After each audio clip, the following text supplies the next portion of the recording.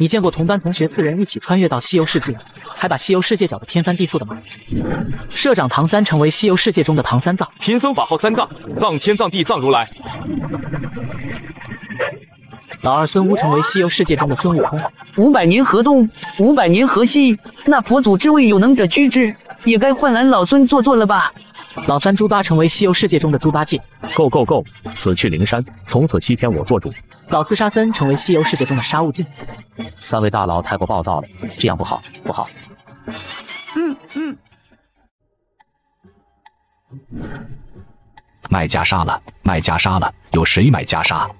我去，该来的还是来了。不过我可是唐三，虽然我穿越成了唐三藏，但是这一世我绝不取经，你佛门休想安排我的命运。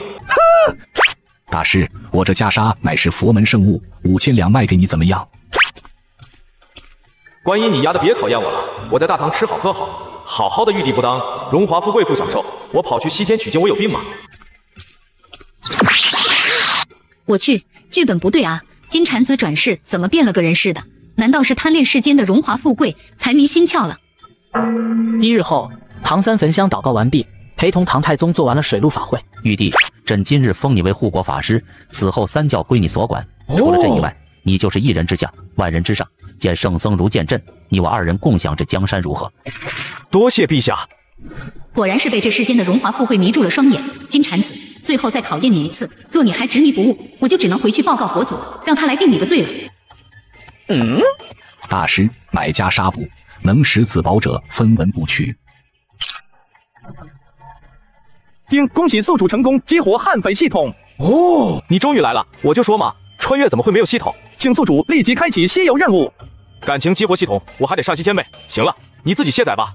打死我都不会去西天取经的。我唐某人绝不被佛门摆布。鉴于宿主不配合完成任务，现开始抹杀宿主。我去我去，阿弥陀佛，西天取经重任舍我其谁？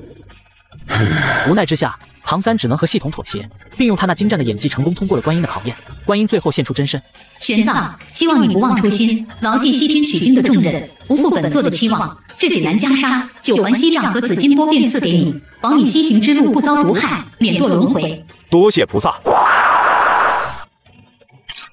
丁，宿主已自愿前往西天取经，悍匪系统完全激活。开启兑换商店，宿主获得新手大礼包一份，请问是否开启？开启。听，开启新手大礼包，获得统御圣法，获得引天敛息诀，获得最强法咒，获得自在天宫一本，获得地仙修为。大哥，弟弟去讨西天求取真经，再会。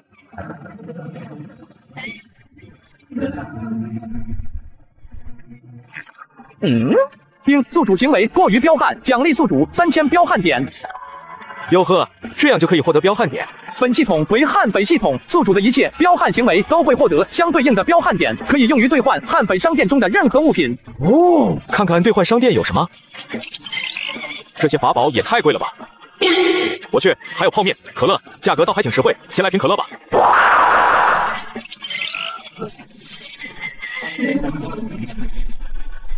刚刚过去的事，唐三藏，师傅救我！我，嗯，五指山头头，莫非你就是被如来压在五指山下五百年，等待唐三藏一起去西天取经的孙悟空？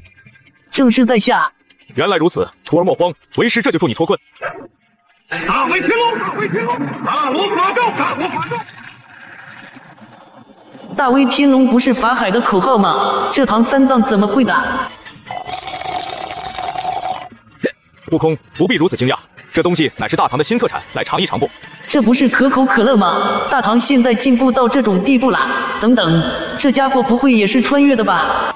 即便偶不变，符号看象限，勾三，古四，行五，天王盖地虎。你是二百五，你是孙乌，你是唐三。笑死我了！感情你一穿越过来就被如来镇压了。这么多年，你就这样在五指山下度过了？可不是吗？对了，你变成唐三藏怎么会法术的？系统送的啊。对了，我这有本功法，好像是专门给你准备的。自在天宫，自在极意功进阶版。修炼者需要拥有一头浓密的头发，修炼至最强可增强自身万倍战力。哦，帅帅帅！那如来镇压老子五百年，你给我等着，等我们三年二班爱福寺杀上灵山的。谁在想我？师尊，金蝉子这时候应该已经到达五行山附近了。弟子先行告辞，去帮助他降服孙悟空。观音尊者且慢，本座有一法宝赠与你，此乃紧箍圈，给那泼猴戴上。本座再传你一法，可使那泼猴归心取经，不生他意。多谢师尊赐宝，弟子告辞。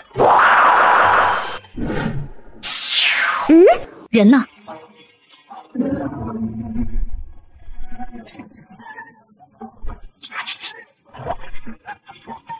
系统商城，兑换一把沙漠之鹰。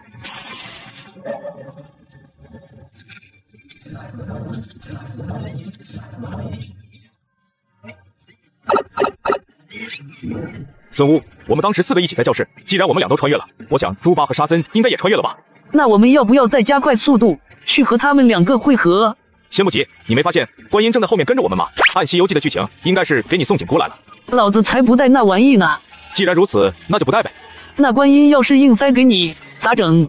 莫慌，你三哥自有妙计，你先假装离开，让那观音来找我。行。系统商城，更改紧箍咒咒语要多少积分？五千积分哦，亲。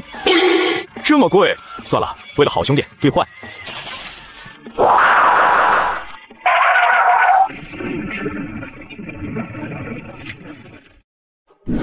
观音姐姐，我都已经听你的去西天取经了，你还总跟着我干啥？不放心你自己去好了。不识好人心，我可是背着孙悟空偷偷来找你的。你不知道五百年前的事，这孙悟空生性野蛮，本座怕你难以降服，所以才来助你一臂之力的。哦，如此甚好，那请观音姐姐助贫僧一臂之力吧。此乃紧箍圈和定心真言，你让那泼猴带上，他若不服你的管教，你就默念此咒，他便再也不敢行凶，只能乖乖听你的话了。阿弥陀佛，多谢观音姐姐。嗯，我得先走了，一会孙悟空回来看到我们两个在一起就不好了。悟空回来了。嗯。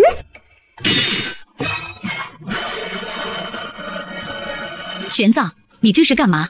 我试试这紧箍好不好使。那猴头那么凶，万一不好使，他再给我嘎了怎么办？简直胡闹！老龙恼怒闹老农，老农恼怒闹老龙，农怒龙恼龙更怒，龙恼农怒龙怕农。不对，不对，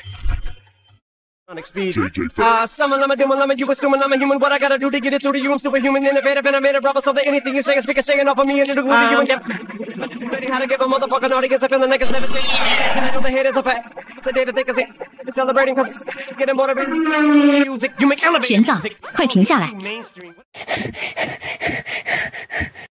玄奘，快帮我把紧箍圈解下来。可是你只教了我紧箍咒，并没教我松箍咒啊！求求你了，我真解不了。不过我可以答应你，不再随便念紧箍咒就是了。玄奘，我们走着瞧。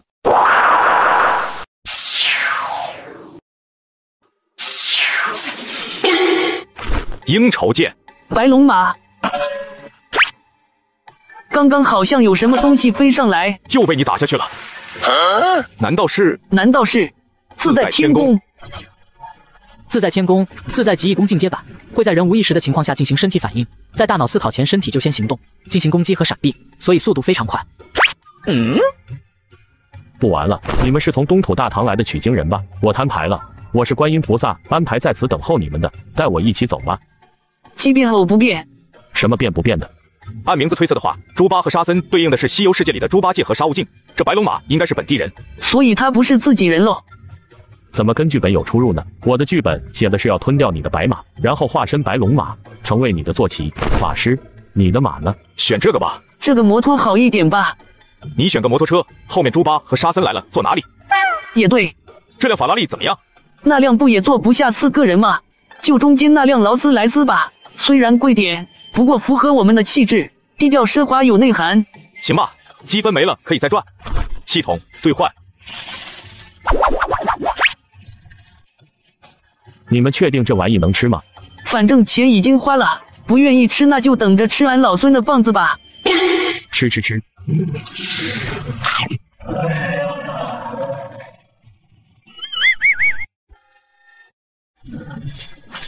你说我们从系统商城买下来，直接开走不就行了吗？何必多此一举？你不早说，我都不敢想象猪八和沙僧看到会怎么嘲笑我们。收服了白龙马之后，唐三和孙悟继续赶路，很快便来到了观音禅院。熟读《西游记》的他俩又怎会不知观音禅院里的金池觊觎他们身上的袈裟？于是他们决定反客为主。圣僧，我这两百年的收藏都在这了，你们都拿走吧。等一等，嗯，其他的东西可以带走，但是要把你身上的袈裟留下。你们这些妖孽真不知天高地厚，根本没把我放在眼里。大威天龙，大威天龙，大罗法咒，大罗法咒。住手，玄奘！菩萨，紧箍圈还没摘下来吗？玄奘，把假发还给我。唐玄奘，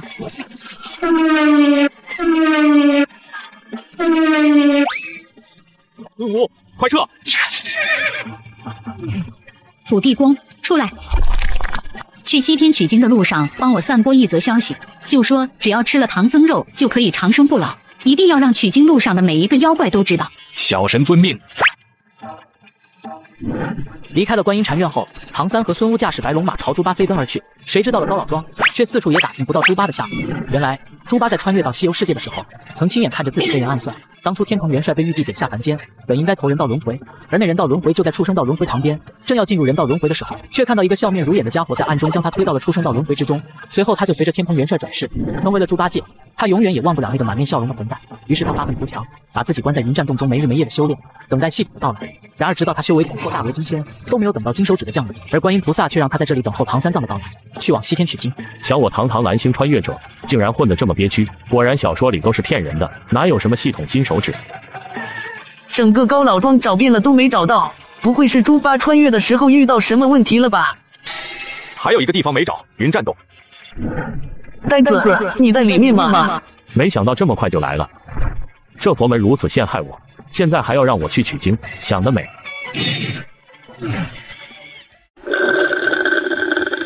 呆子，你在里面吗？快住手，小八！你们是？奇变偶不变。符号看象限。勾三。古四。行五。天王盖地虎。你是二百五。你们是唐三、孙乌。难怪你一见到我们就动手，原来当初是佛门把你推下畜生道的。这佛门欺人太甚，等着吧！现在我的兄弟也穿越过来了，等我们三年二班 F 四杀上灵山的，再好好跟他们清算。嗯，我们 F 四现在就查沙僧了，没记错的话，他应该正在流沙河里忍受万箭穿心之苦吧？那我们别耽误时间了，赶紧去解救他吧。嗯，要不等明天吧？为啥？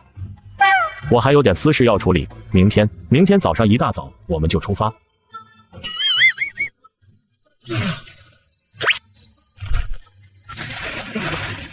翠兰，明天我就要去一个很远的地方了。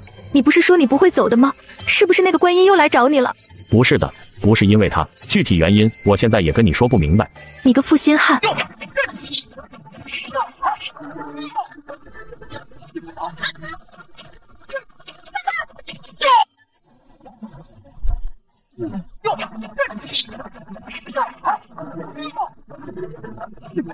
这天晚上，朱八和高老庄两个好朋友一一告别之后，第二日三人一大早便启程，前往流沙。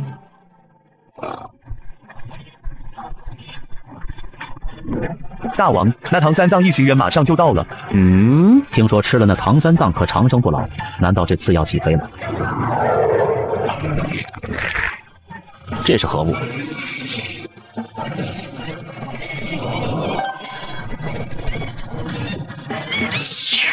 菩萨，那黑不溜秋的东西是何物？竟有如此威力？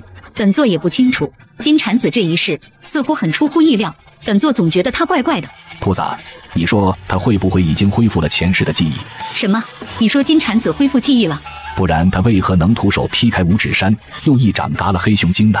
此事我还得赶紧回去禀告佛祖。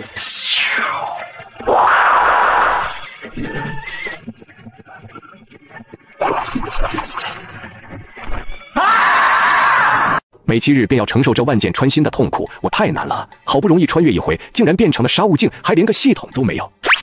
哇哦！果然是阿森，穿越成沙悟净还是那么喜欢吃鸡腿。太好了，没想到这辈子还能再见到你们。大男人一个，你哭个毛线啊！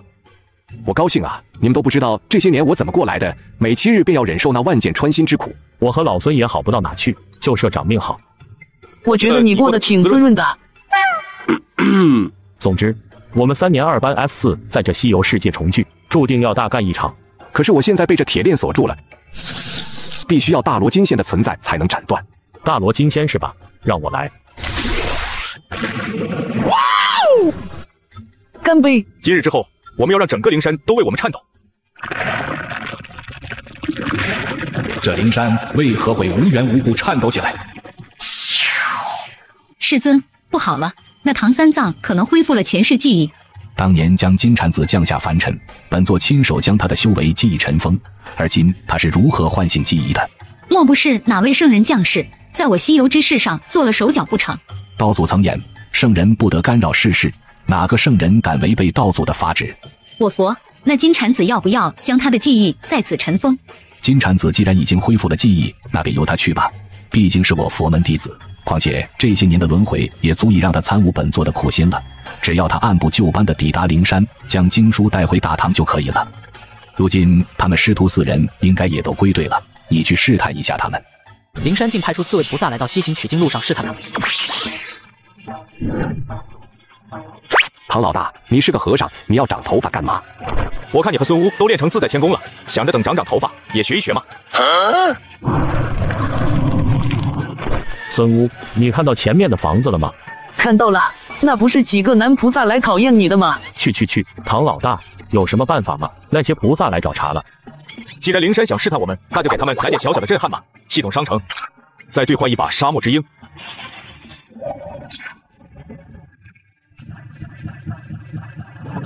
这金蝉子转是这么彪悍的吗？系统商城，来个大家伙！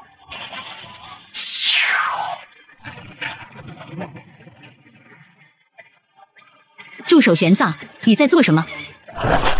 大胆妖孽！这方圆几十里没有人烟，忽然出现一座大院，真当我们几个是傻子不成？如今还敢幻化成佛门菩萨的模样来迷惑贫僧？玄奘，本座就是观音。你是观音，那我还是如来呢？还有你们几个妖孽，竟敢冒充文殊菩萨、普贤菩萨和骊山老母，真是不知天高地厚！我忍不了了，揍他们一顿吧！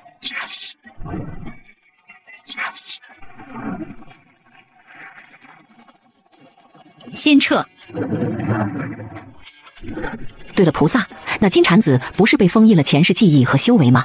其实金蝉子恢复法力一事，佛祖已经知晓。倒是那猴子和猪八戒的战力竟然如此强悍，真是出乎意料。本座观那猪八戒已是大罗金仙修为，而那猴子用的是一种神通，能够在短时间内爆发出强大的战力。诸位可曾见过这般神通？天地间能够强行提升战力的神通功法，无一不是邪魔外道。莫非他修炼了魔功不成？先回灵山，此事需让佛祖定夺。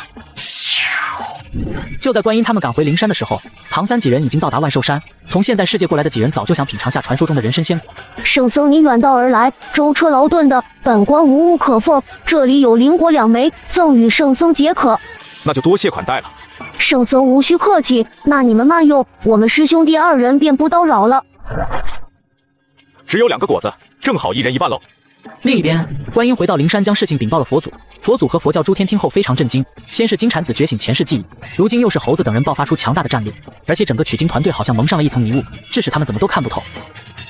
难道真有圣人出手干扰西游之事？如今这猴子等人战力都能匹配大罗金仙巅峰了，再派观音出马的话，怕是会很难掌控局面。诸位。既然金蝉子恢复了前世记忆，加上那泼猴等人实力加强，本座以为派个准圣坐镇更为稳妥。不知道你们二位谁愿前往？世尊，贫僧愿为我叫大业，鞠躬尽瘁，死而后已。这件事就交给贫僧吧。我去，这是要把老娘换了？不行，老娘要抗议。世尊，以弟子之见，只是引领唐三藏等人，何须出动准圣大能呢？这件事还是交由弟子去做吧。观音，西游之事是观佛门兴盛。此事不可马虎，依本座之见，还是按世尊所言吧。你都是如来的接班人了，还跟我抢西游功德？弥勒观音，你们二人不用再争了，本座决定这件事就交给你们二人一并去处理吧。你们再去试探一番，看看他们背后是否真有圣人在插手西游之事。谨遵我佛法旨。观音姐姐，好久不见了！你是不知道，之前我们遇到了几个厉害的妖怪，竟变成你和几位菩萨的模样来蛊惑贫僧等人，当时把我们给气的啊！我们当场发飙，直接就把那几位妖怪给打跑了。三藏啊，你搞错了，那些妖怪不是别人，正是观音等人。不可能吧？观音姐姐是妖怪？金蝉子，本座知道这取经之路困难重重，所以前日才和其他几位菩萨幻化成妖怪，呸呸呸，变成美女，想试验一下你对取经的信念如何。观音姐姐放心吧。贫僧取经的信念坚不可摧，天塌了，贫僧也会到达大雷音寺取得真经的。不过话说，谁是金蝉子啊？难道他没恢复记忆？三藏，你是从哪学会的法术？哦，是这样的，当初贫僧刚出大唐的时候，遇见了一位老先生，他说见我有缘，就赠了一本《凡人修仙诀》于我。拿错了，是这本。这《凡人修仙诀》跟太清圣人所创的金丹大道何其相似，莫非是？三藏，既然你得此机缘，自当好好珍惜，但莫要忘了初心，一切以取经为重。贫僧明白。没想到他们背后的人竟是太清圣人。小点声，此事也只是猜测罢了，还需要佛祖去做定夺。这样吧，你先回去上报佛祖，我在这里盯着他们。当初我来到这个世界的时候，就是在六道轮回被这个弥勒阴了一把，才导致我老猪变成了猪身。这次一定不会放过他。我想到一个好主意了。看你那腹黑的样子，看来咱俩是想到一起去了。你们两个别卖关子了，赶紧说。咱们可以来一手栽赃嫁祸。今天这人参果大家不是没吃过瘾吗？到了晚上，我可以变化成他的模样偷走人参果，再搞个大动静出来，把这事赖到他身上。哦，孙悟的想法跟我不谋而合，但是为了稳妥一点，我们再计划计划，确保万无一失，最好能让镇元子记恨上佛门。我倒是有一个发现。自从我们到达武装观，我就一直在远远的观察那棵人参果树，发现在树下有一道封印，非常的隐蔽。也许镇元子在里面藏了什么好宝贝。如果我们能一并偷走，并栽赃给弥勒，镇元子一定会更加记恨佛门。这武装观不是洞天福地吗？哪里来的阴风阵阵？不对啊，按照我佛门的算计，那猴子应该已经掀翻了人参果树才是，怎么还没动静？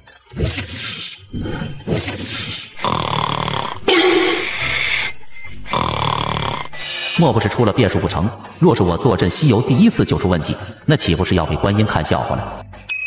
有了，既然你们不去触发这一难，那本座就替你们触发好了。嘿嘿，我弥勒真是个天才，而且本座还能吃到人参果，真是一举两得。唐老大，小八，阿芬，时间差不多了，起来吧。一会摘完果子后，我会推倒人参果树，把动静搞大。让那清风明月发现我，我吸引他们的注意力后，你们要借机破开那道封印，拿走里面的宝贝。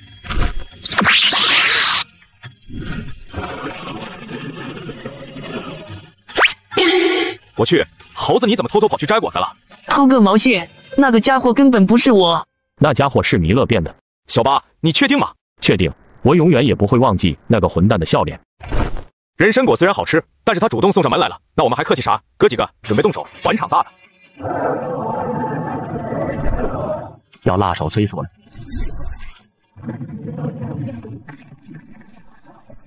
好你个妖孽，竟敢冒充俺老孙的模样来偷人参果！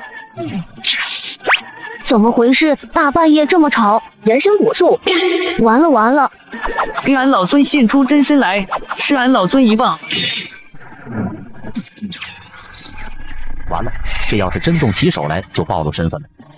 这是什么情况？二位还看不出来吗？是有人化作我那悟空徒儿的模样，摘了你家人参果，断了你那人参果树，栽赃于我等。好在我那几个徒儿察觉到院中不对劲，出来查看，这才撞见这歹人的诡计。如若不然，贫僧等人怕是跳到天河里都洗不清了。可恶！尹天敛息诀。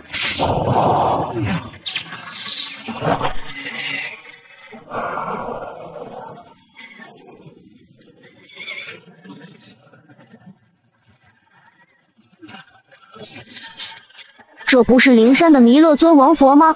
哎，堂堂佛门未来佛祖，竟然干这等不耻之事，真是令贫僧惭愧啊！圣僧莫要自责，谁家没出过几个垃圾玩意啊？这件事我会如实跟家师说的，请圣僧不要担心，家师定不会迁怒于你的。清风，你不知道我佛门出了这档子事，我身为佛门的弟子多心痛啊！他可是我教未来佛，竟然干出这种事，真是……圣僧不要这样，明月马上传信叫家师回来主持公道，我去看看损失情况。大事不好了！果库的封印被打开了，里面的人参果全被偷了。金蝉子他们怎么还在这里？不应该跑路了吗？清风明月，尔等哭甚？师傅，那人参果树毁了，果库里的人参果全没了。好你个唐三藏，本座念你是旧时，让清风明月好好招待你，你却打起了本座果库的主意。师傅，不是他们干的。嗯，不是他们干的，那是谁干的？阿弥陀佛，罪过罪过，这一切都是我佛门弥勒尊王佛干的。三藏法师说是弥勒佛干的，这是何意？贫僧也没想到，那弥勒尊王佛竟然变成悟空的模样来陷害我等，不仅盗走灵果，还毁了树根。若不是正好被贫僧几个徒弟和清风明月撞着，贫僧等人怕是跳到天河里都洗不清了。师傅是清风的疏忽，你莫要怪罪明月和三藏法师等人。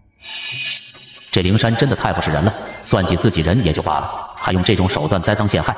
之前我就不应该答应帮这个忙，而且和我说好的知悔术，现在把我的果库都洗劫一空了，那可是存了六千万年的果案，这事绝不可能就这么算了。圣僧不必自责，这件事还得多谢三藏法师了。若不是被你撞破，本座怕是也要被蒙在鼓里啊！你们也别哭了，这事要怪就怪佛门，你们放心吧，为师现在就去找他们讨回公道。弥勒，弥勒，你给本座滚出来！镇元子道友，你闯我灵山所为何事？还攻击我护山大阵，今日你需要给我一个交代。交代？如来，今日你若是不给本座一个交代，我直接将你这灵山给掀了。镇元子道友，一人做事一人当，有什么事你直接找我，何必大动干戈？你自己干了什么？没点数吧？道友，我想你是误会了吧？贫僧只是按咱们之间的约定行事罢了。当时我见唐三藏等人，并没有要对人参果树下手的意思，这才暗中帮了他们一把。待会让观音帮你复活人参果树就是了，莫要动怒，伤了咱们之间的和气。好一个帮了他们一把！本座头一次听到能把栽赃嫁祸说的这般清新脱俗的。镇元子，你不会是来灵山教我们做事吧？哼，行，就算你毁我人参果树在约定之中，那你把老子的果库洗劫一空，又是什么意思？道友，我可没动你的什么果库，你可不要血口喷人。都已经被抓现行了，还要狡辩？废话少说，今天要么本座掀翻你这灵山，要么交出本座的人参果，再赔偿本座，你们自己选吧。弥勒，还不赶紧将人参果还给道友？我只拿了树上那些，其他的我真不知道。老子手套山，一二三，掌中佛果。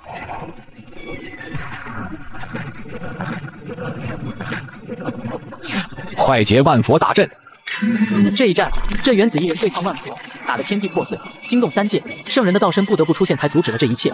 最终，灵山赔了镇元子三件中品先天灵宝，并承诺帮他将人参果树恢复如初，这才达成了和解。另一边，唐三等人已经来到了白虎岭山脚下，白骨精的地盘。嗯，听说只要吃了唐三藏，就可长生不老。你放我回去！别害怕，小妹妹，姐姐不是坏人，不过是想借用一下你的身份接近唐三藏。等拿下唐三藏，姐姐就会放了你。吓老娘一跳！嗯，白晶晶，我去，这也太像了，就是那个学生会主席，篮球啦啦队队长，全校男生梦寐以求的校花白晶晶。哥几个，我从来没有求过你们，这个让给我怎么样？你这样对得起高老庄的那些妹妹吗？几位哥哥为何这样盯着奴家？这是女施主，换上这套衣服给贫僧看看。够了，唐三藏，你不要太过分，本女王不要面子的吗？我马上去换。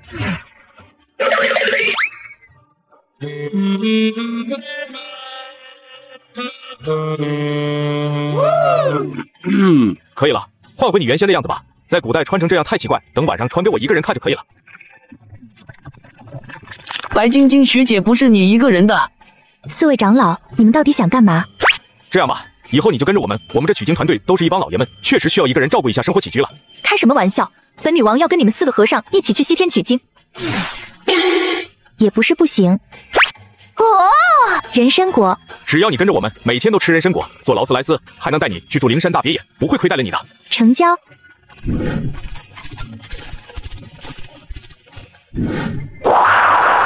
观音，取经团队如今到哪了？禀佛主，他们刚刚经过白虎岭。嗯，按照我们之前的算计，此番劫难，唐三藏会和泼猴产生分歧，然后分道扬镳。佛主，他们并没有分道扬镳，只是没有再一同乘坐白龙马而已。那他们又为何不一同乘坐白龙马了？之前关系不是好的很吗？因为他们把白骨精收了，白龙马坐不下了。兄弟四人带着白骨精一起踏上西行取经之路，并萌生了一个可怕的想法：他们要在西行路上把所有看得顺眼的妖怪收入门下，壮大队伍，好在未来对抗灵山。嘿，嘿，嘿，嘿！你们三个一起上吧。嗯。奎木狼，天庭不是不让你与百花仙子相恋，才逼得你私自下凡吗？我佛门崇尚自由恋爱，只要你拜入我门下，陪为师完成西行大业，可以后就放心大胆的去恋爱吧，一切由我佛门罩着。弟子拜见师傅。嗯，这位是你的大师叔、二师叔和三师叔。果然是他们偷的人参果，然后栽赃给弥勒的。我去找那唐三藏算账。算了，镇元子那边也摆平了。如今最重要的是保证他们几个顺利抵达西天，不要再出什么幺蛾子。就这样，取经团队再加一人，六人一马再起征程。不多日，他们便来到了平顶山。哥几个，前方就是莲花洞了。怎么说？不就是金角银角吗？不招人待见的，直接嘎了。至于那些宝贝，哥几个分了怎么样？老爸，别老是这么冲动行不行？稳健才是王道。依我之见，变成观音的模样，嘎了金角银角，栽赃给佛门，不是更好？你没看到观音就在一旁偷窥吗？旁边还有个燃灯一起来监督我们呢。老沙的办法也许可行。嗯，我们可以这样。哦，最后我们不仅能拿到太上老君的那些宝贝，还能栽赃给佛门，挑拨他们和天庭之间的关系。我去，你们竟然要同时算计天庭和佛门？为什么我要跟你们在一起？我疯了吗？小的们，去那边看看，到底是何人敢在本大王门前生火？原来是几只小卡拉米，让我来。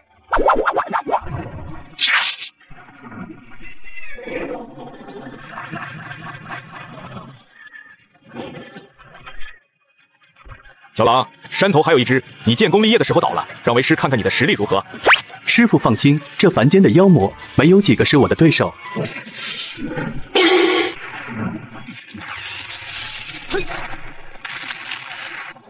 尊驾是哪个山头的？到我平顶山来作甚？报上名来。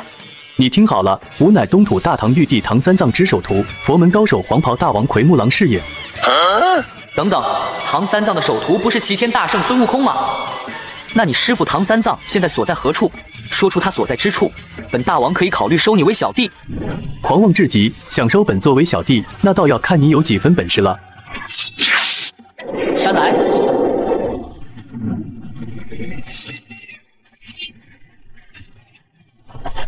黄袍大王奎木狼是吧？你很强，本大王认可你了。等我带上法宝，我们再战。师傅，几位师叔，我刚刚的表现如何？本事还不错，就是修为低了些。有时间让你几位师叔好好指导你一下。师傅，我这修为，此生怕是再无寸进了。嗯，这是为何？师傅，你有所不知，在上古封神亮劫降临时，我李雄死于万仙阵中，最后魂入封神榜。虽然位列仙班，但是修为再也无法寸进了。原来奎木狼就是李雄，那倘若玉帝要抓你回去，岂不是只要催动封神榜，便可让你归位了？系统系统，有没有让封神榜无法射走李雄的宝物？有，定神装需花费五万彪悍点。我去，这么贵！还有，这是什么定神装？这不是西装吗？你不会忽悠我吧？童叟无欺，还可自选颜色哦，亲。行吧，兑换一套，要粉色的。徒儿莫慌，为师这里有一法宝，名为定神装，只要穿上它，那封神榜就无法将你射走了。哦，你怎么总能拿出这么老土的衣服？好了，天庭的人应该也快来了，我们该执行计划了。小八，你带着小狼去金角银角的干娘那里把捆仙绳抢来。孙乌，我们去莲花洞。唐老大，那我呢？你就在这里和晶晶一起留意观音和燃灯的动向，随时汇报。好，好，好。玉帝，二十八星宿中的奎木狼在十三日之前私自下凡去了。天下一天，凡间一年，至今刚好十三年。闻言，玉帝内心淡定无比，一切都在西游计划之中罢了。陛下，奎木狼遇上了东土大唐来的圣僧唐三藏，如今好像被唐三藏降服，拜入佛门了。杨戬、哪吒，朕命你们下凡，将那奎木狼抓拿归案。陛下，贫道也一同前往，如何？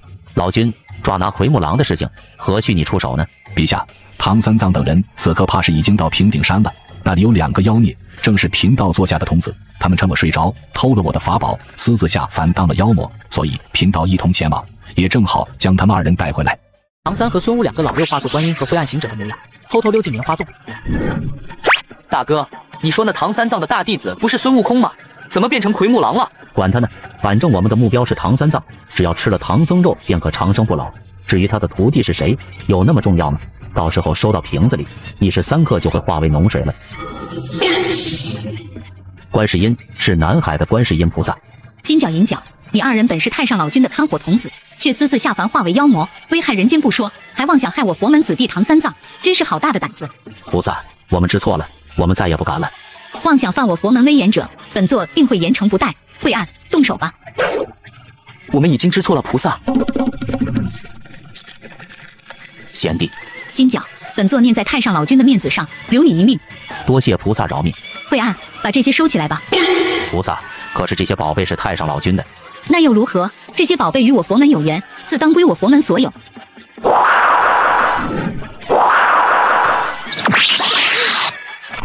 这几件都放你那，你身上能屏蔽天机，他们找不到。好，我们分头行动。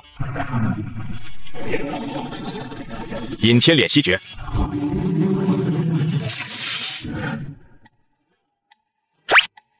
奇怪了，其他人都跑哪里去了？嗯，这不是老君的阳之玉净瓶吗？看来是天赐宝贝啊！此宝贝与我佛门有缘，自当归我佛门所有。那不是我的羊脂玉净瓶吗？怎么会在观音手中？菩萨为何在此啊？哦，唐三藏等人取经到此，本座受佛祖所托，特地来关注一番。老君，你们来此又是为了？奎木狼与本座的两位童子下凡为妖，我们奉玉帝之命抓拿他们回天庭。观音，你手上的事？这个羊脂玉净瓶是刚刚才捡到的，老君是不是你丢的？师傅，师傅，银角他被人嘎了。金角，你私自下凡偷了我的五件宝贝，有什么脸叫我师傅？还有银角怎么嘎了？说清楚点。师傅，就是这佛门的南海观世音菩萨嘎了银角。金角，你在胡说什么？哼，我亲眼所见。你看看你手里拿着什么？你还想抵赖？观音，你是不是要给贫道一个解释？老君，这是刚刚天上掉下来砸到我头上的。没想到你连说谎都不编一个好点的理由了。他还说这些宝贝与他佛门有缘，理所应当的就拿走了。我没有说过这句话。看看看，说谎了吧？老君，你要信我啊！定是有人要陷害我的。你等着，待得贫道以法力感应其他那几件法宝，若是在你身上的话，贫道定饶不了你。有了，在南方。孙悟，东西放好了没有？搞定了，我办事你放心。还说不是你干的，芭蕉扇就在你这普陀山中。另外，贫道的七星剑和紫金葫芦呢？这不是我放在这里的，定是有人算计于我。陷害？好，那你倒是说说是谁陷害的你？该死的唐三藏，一定又是他们干的好事。可他如今是取经的重要人物，这事若是往他身上引，万一耽误了西游大业，我岂不是成了佛门罪人？既然你说不出来，那就跟贫道去一趟须弥宫吧。就这样走了，我还以为能看到老君暴揍他一顿呢，真没劲。我们也走吧，先去将奎木狼抓回去复命再说吧。太上老君，你到我须弥宫所为何事？什么事？你问问他到底干了什么？圣人，我冤枉啊！见到西方二圣后，观音立马将前因后果说了出来。二位。观音所言不知道真与假，但是贫道亲眼所见，贫道的法宝都在观音手中和道场中，所以请二位给贫道一个交代吧。交代？本座需要给你什么交代？观音明显是被人陷害的，枉你身为太清道友的道身，这都看不出来吗？贫道亲自捉赃于他，又岂会错怪于他？准提，听你的口气，莫不是要包庇他吧？大胆！你竟敢直呼本座名讳，就算你本尊来了，也要尊称本座一声道友。区区准圣也敢蔑视圣人之尊，今日本座就替太清道友好好教导教导你。好一个准提道人！这些年你自创佛门，脱离玄门后，这脾气倒是夸了不少，就是不知道你这本事增长了几分。今天就让贫道见识见识吧。太清圣人，本尊。丁恭喜宿主成功栽赃观音和佛门，获得十万彪悍点，五十万年修为。外加九品功德金莲，九品功德金莲系统，这不会是你从接引那射来的吧？机操物六，接引，我不过是让你赔两件上品先天灵宝和一些丹药，帮我的童子重塑真身回魂。你至于这样吗？不会想碰瓷吧？我刚刚可没打你，师兄，不至于吧？本座的九品功德金莲被人隔空强行夺走了，而且连本座的印记都抹除了。几人将白晶晶和奎木狼收入西行取经的队伍，惹得玉帝震怒，派杨戬和哪吒下界抓拿奎木狼。奎木狼，你私自下凡化为妖魔，祸害人间。今日本将军受玉帝之命前来将你抓拿归案，还不快束手就擒！三只眼，奎木狼已入我佛门，拜贫僧为师，他已经不是天庭的人了，你回去吧。三藏法师，奎木狼乃是我天庭的二十八星宿之一，本就是我天庭的人，你收他为徒，怕是坏了规矩吧？非也非也，我这徒儿在凡间堕落为妖魔，被贫僧以爱感化，遁入了我佛门。贫僧也只是按照佛祖的旨意普度众生罢了，何来破坏规矩一说？那三藏法师的意思是不愿意交出奎木狼喽？奎木狼已经遁入佛门，他是佛门子弟，你想要带他回天庭，去问问如来那老头答不答应吧？三藏法师，这泼猴所言也是你的意思吗？也不完全是，因为就算是如来同意了，贫僧也不同意。秃驴，你莫要欺人太甚，别以为你唐三藏是取经人就可以为所欲为了。三只眼，你给我听好了。第一，贫僧法号三藏，埋葬的葬。第二，从今日起，谁敢再喊我秃驴，我就跟谁急。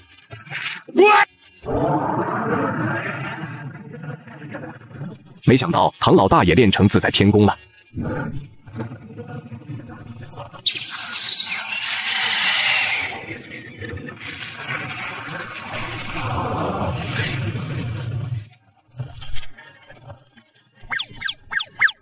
你们都愣着干嘛？准备出发乌鸡国了？太吓人了！这真的是要去西天取经的吗？我感觉我们误入一个土匪窝了。这唐三藏太过分了！陛下莫要动怒，你是不是忘了封神榜可以强行将奎木狼召回来？对啊，朕差点忘了，多谢老君提醒。诸天万神，听我号令！吾乃天地昊天，星宿之仙奎木狼，速速归位！速速归位！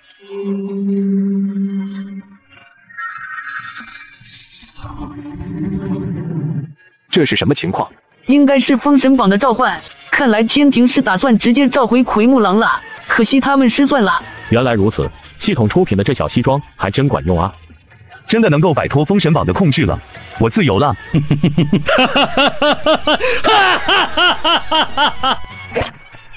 怎么可能？封神榜竟然无法将奎木狼召回？这莫不是西方二圣出手干预了？不可能！封神榜乃是天书，蕴含了一丝天道意志，哪怕强如圣人，也无法干扰封神榜。没错，而且现在那西方二圣恐怕都自顾不暇了。老君，你可能推断出一二。西游之事，小事可改，大事不可逆。究竟是谁在影响整个格局？话分两头，帮奎木狼解决了天庭的麻烦后，唐老大一行人快马加鞭赶到了乌鸡国。如今这乌鸡国国王乃是文殊菩萨座下的坐骑青狮精所化，真正的国王早在三年前就被这冒牌货扔进水井中。而作为熟读《西游记》的穿越者，几人便已知晓了这一切。老孙救人！嗯，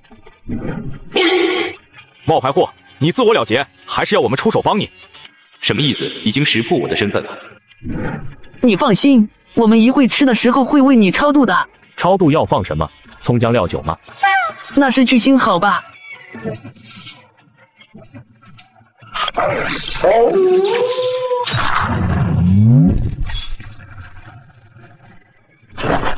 不错不错，小狼，虽然你受制于封神榜，修为无法再进一步，但你是除了你悟空师叔之外，最适合修炼自在天功的人。今日传你的功法。一定要勤加修炼。多谢师傅赐神通，徒儿定当谨遵师命，扬我佛门之威。小狼，咱们可不是佛门，我们只是对外宣称是佛门而已。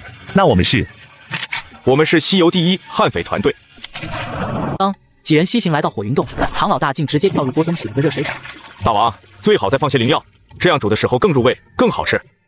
你这和尚好奇怪的要求，但又好像很有道理。本大王答应你了，小的们。按照这和尚的要求，赶紧去准备。好久没泡药浴了，看来这次可以泡个舒服了。久违的舒适让唐老大闭上眼睛，开始享受了起来。而红孩儿一边让人去准备药材，一边则派人去请牛魔王和铁扇公主来共进晚餐。还是唐老大会享受，不知道红孩儿吃不吃我们？要不我们也去泡个热水澡？别捣乱了你！红孩儿好歹是我在这个世界结义大哥的独生子，这次我们要帮他脱离佛门的魔爪。这个唐三藏又在搞什么幺蛾子？上次去晚了一步，我的黑熊精就被这唐三藏打了。这次一定得时刻留意。傍晚时分，红孩儿从睡梦中醒来，就听到洞外一阵吵闹声。你这死牛，天天找那狐狸精鬼混，是不是都忘了自己还有个家？父王母后，你们就别吵了。我儿，听说你捉了唐三藏，可有此事？不错，现在正在洞中炖着呢。阿弥陀佛，两位想必就是牛魔王和铁扇公主了吧？贫僧唐三藏在此恭候多时了。你在等我们？两位，你们希望红孩日后被他人收为童子吗？什么？谁敢收我儿子为童子？我老牛定要和他拼命！不错，我铁扇公主的儿子岂能当别人的座下童子？二位莫慌，且听贫僧慢慢道来。随即，唐老大将他们正在经历西游八十一难，以及他记忆中会在火云洞发生的一切都告知了他们。你是说，佛门让你经过这里，就是为了寻找机会将我儿渡去西方？没错。佛门为何要这样做？二位也知道，西方土地贫瘠，灵气不如东方，人才稀缺，且封神时期发生的事情你们也都知道。灵山为了壮大己身，不知道强行渡了多少强者过去。现在的灵山虽然强大了，但是形势依然如同当年一般，不过是换了一种形式罢了。不对呀，你自己就是佛门之人，为何要将这事告诉我们？牛大哥，红孩儿是我侄儿，我们自然不忍心看到他受到伤害。贤弟，哎，看来今天这唐僧肉是吃不成了。圣僧，你先前所说的一切，都是因为我跟贤弟是结拜兄弟的原因吗？也不全是吧。嗯，牛施主，你知道贫僧为什么会被贬十世吗？难道不是如来佛祖的安排吗？非也非也，其实是当年贫僧看穿了灵山的虚伪，之后也做了一些不符合佛门理念的事，所以才遭此一劫。他们想让贫僧经历十世轮回，将贫僧彻底洗脑，好沦为他们真正的棋子。不过好在老天有眼，贫僧在这一世觉醒了前世的记忆。如今贫僧也是不忍心看到牛施主这可爱的娃儿遭此一难，所以才会将心里话和你说出。我之前还想吃了你，我太不是人了。哼，那佛门行事，俺老牛自是知晓一些的。贤弟，你可还记得咱们结拜的其余几兄弟？自然记得。说起来，这么多年没听过他们的消息，他们现在身在何处？贤弟啊，自从你被压五指山之后，我们六个就遭到了佛门的追杀，他们五个全部被佛门渡了去，当了坐骑。俺老牛命大，遇上了太上老祖。是他救下了俺老牛，不然的话，按现在的下场，估计也是沦为了某位佛陀的坐骑了。等会我们就带红孩回去，免得被佛门惦记。不久后，牛魔王与铁扇公主便带着红孩回火焰山去了。由于红孩没有被观音带走，后续火焰山一劫，取经团队也不会和牛魔王有任何冲突。西游至此，大事正在逐渐改变。世尊，金蝉子没有按指定的计划行事，他已经出了火云洞，并且原本该被弟子收为童子的红孩也被牛魔王带回了火焰山。此事本座已经知晓，诸位西游之事，现如今正逐渐脱离吾等的算计之中，所以本座打算重新安排剩余的劫难，确保金蝉子等人能完成九九八十一难。话分两头，唐老大等人离开火云洞后，很快就来到黑水河，并在河边架起了一口大锅，捆仙绳。好香啊！孙武，怎么了？那两座山之间好像有什么东西。嗯，没看错吧？我记得《西游记》在黑水河一难就只出现了这只驼龙怪，难道还有隐藏彩蛋？经检测到魔界入口，触发任务：一、闯入魔界，寻找魔祖传承，继承魔道气运。西游和佛魔之难将同时进行，奖励魔道至宝式神枪，百万彪悍点，百万年修为。二、进入魔界，复活魔祖罗喉，奖励鸿蒙紫气一道，三百万彪悍点，五百万年修为。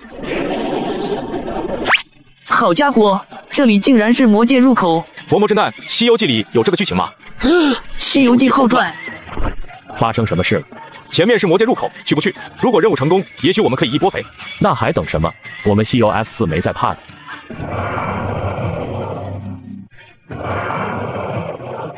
四位护法大人，大事不好了！五百年前大闹天宫的齐天大圣孙悟空等人进入了天魔界，慌慌张张的成何体统？不就是区区一个孙猴子吗？来了便来了，嘎了便是。老三老四去把他们解决了。天魔大人正处于关键时刻，不能够被打扰。我和老二在此守着。来的正好，自从到了这个世界，已经好久没活动活动筋骨了。今天正好拿这个所谓的齐天大圣练练手。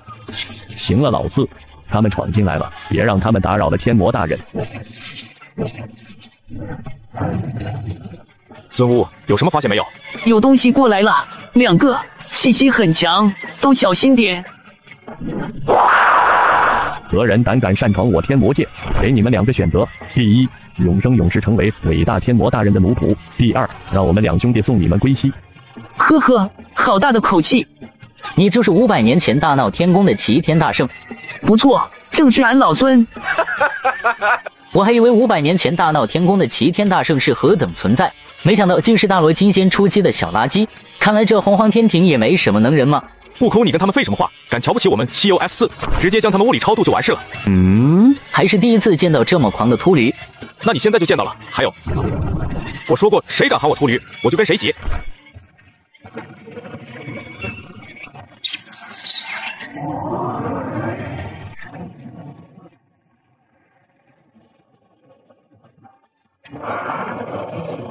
心魔，天魔界发生了什么事情？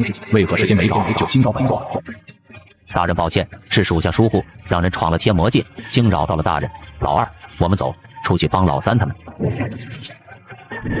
你这是什么功法？竟然可以瞬间提升这么多战力？两个没用的废物，连一群蝼蚁都打不过，真是丢了我们魔族的脸。别废话了，你们两个拖住他们，本座要接引混沌中的魔迹降临此界，速战速决。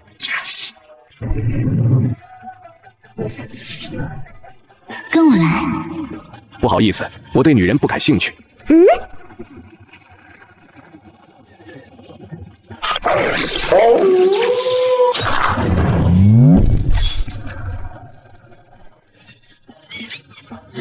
贫僧来超度你了，真有趣！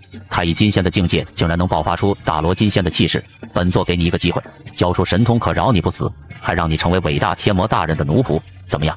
哦，不知你家天魔大人是哪位？介绍一下呗。吾等伟大的天魔大人便是魔祖罗侯。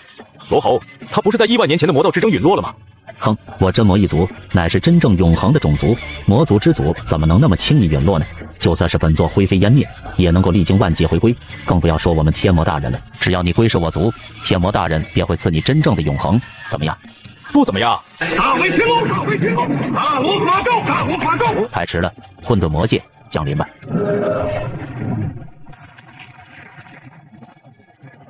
这是什么情况？无知的蝼蚁，此乃混沌魔界，乃是本座以无上秘法接引混沌中的魔气降临此界，而你们这个世界的生灵根本承受不了这混沌魔气，只需要顷刻间就可以让尔等灰飞烟灭。你说我们这世界的生灵承受不了这混沌魔气？难道你不是这个世界的生灵吗？哼，本座怎么可能是这个世界的生灵？本座乃是混沌中最伟大的真魔一族的魔尊。不对，天道怎么允许你们混沌生灵存在呢？就算你们魔祖罗侯当初也是经历天道洗礼才成为洪荒的一份子，莫非你也经过天道洗礼或轮回了？无知的蝼蚁，都说了我族乃是混沌中永恒的一族，你又怎么可能知晓我族的手段？罢了，本座没必要跟你这个蝼蚁解释那么多。诸天梦魇，心魔现。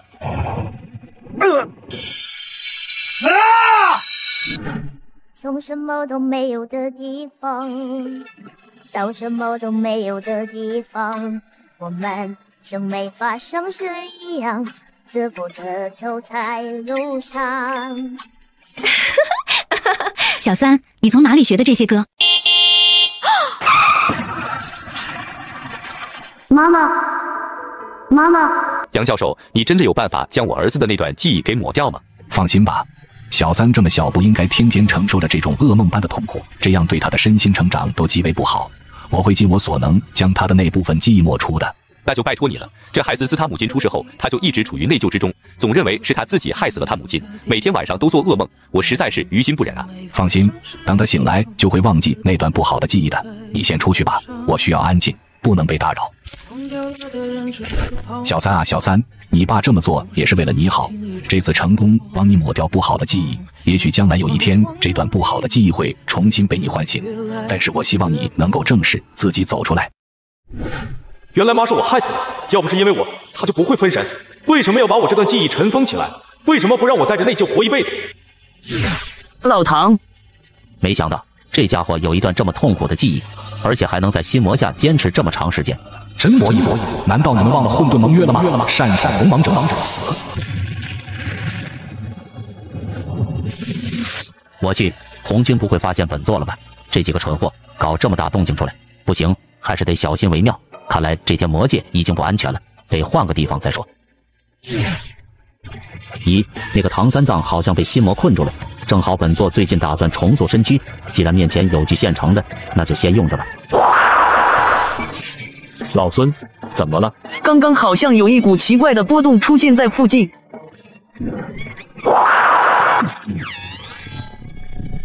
真是奇了怪了，这家伙的神识竟然连本座都入侵不了，难道是被佛门圣人下了封印？罢了，本座只是需要一个静修的地方，不管这唐三藏能不能醒来，本座就先附在他身上就好了。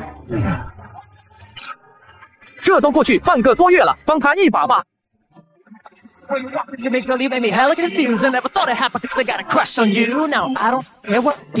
四道土，宿主，你母亲的死，你也不需要太过自责，毕竟那时候你还年幼，而且你父亲将你的记忆尘封起来，也是为了你好。不，我妈是我害死的，都怪我，都怪我。你看看外面和你一起穿越到这个世界的兄弟，守了你半个月了，眼睛都没闭上过，你要这么自暴自弃，把他们丢在这个世界不管了吗？是我对不起所有人。我怎么摊上了你这么一个宿主？你是妈？你看清楚，你现在不在蓝星，这里是三界，是西游世界。只要你努力，有老子给你开挂，将来复活你母亲，不是分分钟的事情吗？系统，那我现在可不可以？不行，想要复活他，你必须拥有不被时空之力和轮回之力反噬的实力，否则的话，你承受不住的。努力变强，只要我努力变强，就可以逆转轮回。谢谢你，若不是你提醒我，恐怕我会被困在这黑暗中，永远都出不去了。唐老大，抱歉，让诸位担心了。你这个家伙，真是不让人省心。这位天魔大人，你这样不经过别人同意，私自擅闯民宅，怕是不好吧？老唐，天魔在哪？我怎么没注意到？天魔。贫僧知道你能听到，别装了，滚出来吧！有点本事，竟然能够发现本座唐三藏，看来你身上藏有大秘密啊！不错，贫僧身上的秘密多到恐怕你这位魔祖都会自叹不如。想要知道贫僧的秘密吗？不如我们做个交易吧。你一个小小的太乙金仙，有什么资格和本座谈交易？你可知道本座是谁？知道，不就是当年被道祖红军打败的魔祖罗侯吗？谁不知道呢？哪壶不开提哪壶是吧？当年是红军杨梅他们几个群殴我，不然我早就是这片天地的主宰了。好了，魔祖大人，要不要和贫僧做交易？且先听听如何？你说吧。魔祖，贫僧知道，五百年后是你魔道崛起的一个最佳时机，对不对？嗯。你怎么知道？看他这反应，看来佛门的劫难是真的存在。五百年后，吴天率领魔道占据灵山三十三年，很可能就是要以佛道的气运来助长魔道气运，复活罗侯。贫僧就直说了，魔祖，五百年后你们魔道会占据灵山三十三年，到时候你会借此众生，对吗？你是谁？为什么会知道这么多？就算是红军，他估计也只能推断到我魔道将胜而已，他不可能知道这么详细的。我是谁很重要吗？魔祖，你只需要知道，贫僧能够帮你就行。帮我？你怎么帮？难不成你还能复活本座不成？真聪明。就你复活本座，你怕不是在说什么梦话？信与不信，全凭你吧。贫僧所要和你交易的就是，贫僧可以在二十年内复活你，而代价就是将你的魔道传承于我。另外，我要成为魔道未来万年的主宰。你怎么不去抢？老罗啊，你若是五百年后找那个什么吴天来复活你，不是同样的要将魔道传承交给他吗？还要等到五百年后，而我二十年内就能复活你，最多也就让我主宰魔道万年而已。这条件也不是很苛刻啊。最重要的是，你都不知道五百年后能不能成功。你想想，现在道祖师大已经身合天道了，你以为他不知道你的算计吗？指不定已经想好五百年后怎么坑你呢。现在有这么好的机会摆在你面前，可以提前复活，改变大事，你得抓住机会喽。好，本座答应你，将魔道的传承传于你，还答应让你主宰魔道万年。但是你必须要在二十年内成功复活本座，不然不算数。就这么愉快的决定了，那就立下大道誓言吧。唐三与罗侯立下天道誓言后，罗侯便把魔道传承给了唐三，唐三也暂时接管了整个魔道的气运。小子，现在本座将所有东西都传承给你了。另外，你身上承载着魔道气运，你自己注意点。别被人发现了，老罗说好的所有传承都传给我，你的法宝武器都没给呢。别以为我不知道，你有个十二品灭世黑莲，还有个是神枪来着，其他的我看不上，这两样你起码得给我吧。你是个土匪吧？好了，本座该做的都做了，希望你信守承诺。本座累了，该休息了，你们走吧，二十年后再见。丁，恭喜宿主获得魔主传承，继承魔道气运，获得百万彪悍点，百万年修为。鉴于宿主已获得弑神枪，奖励宿主鸿蒙紫气一道。随后，众人离开了天魔界。这一段小插曲也告一段落。在黑水河旁，唐三把收获的宝贝分给了兄弟们后，又继续踏上了西行的道路。途经车迟国时，兄弟几人原本想要还原西游原著的剧情，捉弄一下车迟国三怪，没想到由于兄弟几人整日以人参果为食，圣水营养成分太高，三个妖怪喝下后竟原地突破。感谢三清老祖赐下圣水。这是什么情况？第二日。众人来到皇宫里兑换通关文牒，自以为得到三清庇佑的三妖更加目中无人。大胆唐三藏见到我王，为何不跪拜行礼？吾乃唐王李世民的玉帝，地位等同唐王，而你车迟国只不过区区藩邦小国，又如何经得起贫僧一跪？贫僧不让你们给我行跪拜礼，你们就该偷着乐了。大胆唐朝和尚，这里乃是车迟国，可不是你的唐国。呦呦呦，堂堂一个国家，竟然让三个小妖当道，还想不想喝圣水啊？一会哥几个再赏你们几炮。你在胡说什么？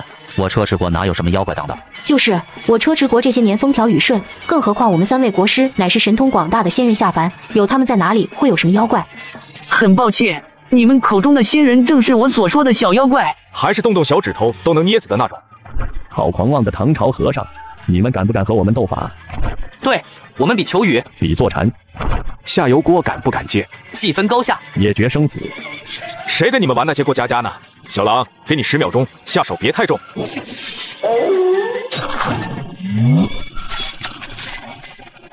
坐下。什么？三位国师竟然真是妖怪变的？念在你们不是灵山派来的，又没在车迟国做过什么伤天害理的事，就放过你们了。以后跟着我们吧。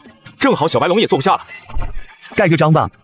兑换完通关文牒后，唐老大一行人自车迟国出来后，又继续西行。西方那边，由于唐老大此前和魔祖罗侯的交易，会导致佛门的那场浩劫提前了五百年。此时的须弥宫中，准提和接引似乎也察觉到了什么。这怎么可能？为什么那场浩劫会提前降临？而且正好是在西游结束之后降临，不应该是五百年后吗？莫不是天机出了什么差错？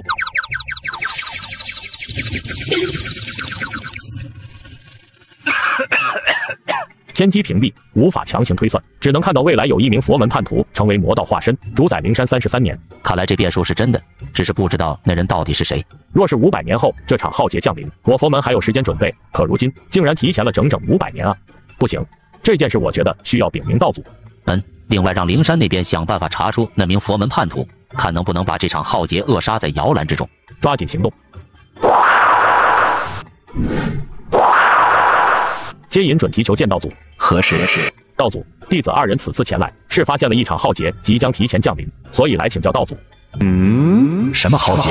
吾等发现，本应五百年后到来的魔道之劫，将在十余年后到来，而那时候正是我佛门西游刚刚完成之时。此乃你佛门之事，又是你佛门该应之劫，提前便提前度过了，有何不好？可是道祖，这浩劫提前降临，我佛门届时恐怕无法承受啊！区区浩劫都无法承受，那你二人建立佛门的意义何在？自己的事自己去解决吧。道祖，对了对了，天道让你二人在西游结束之后，尽快将功德还上，别忘记了。还不如不来呢。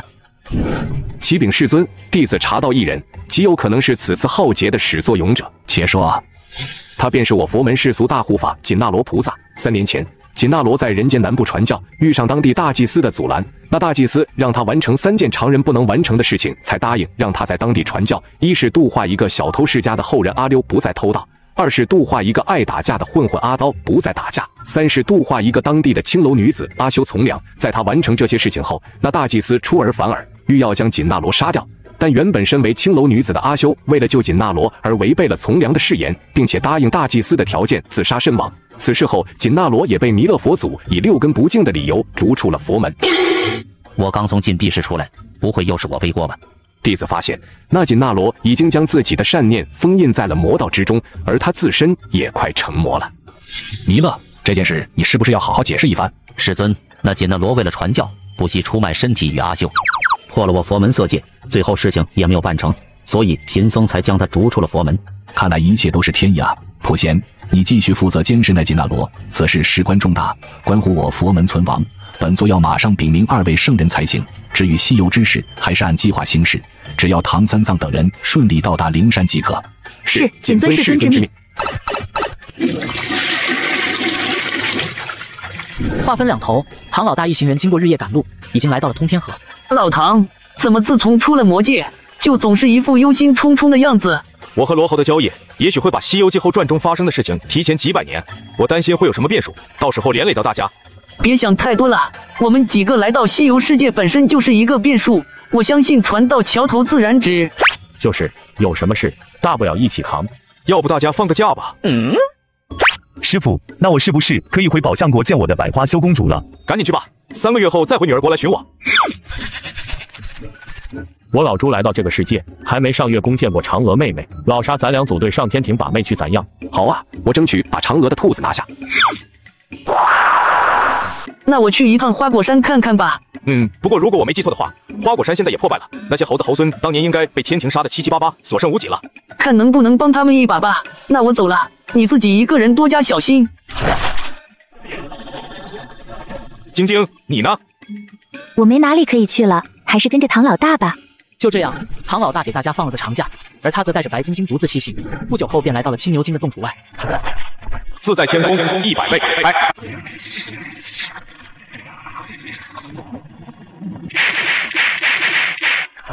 哪里来的长毛和尚？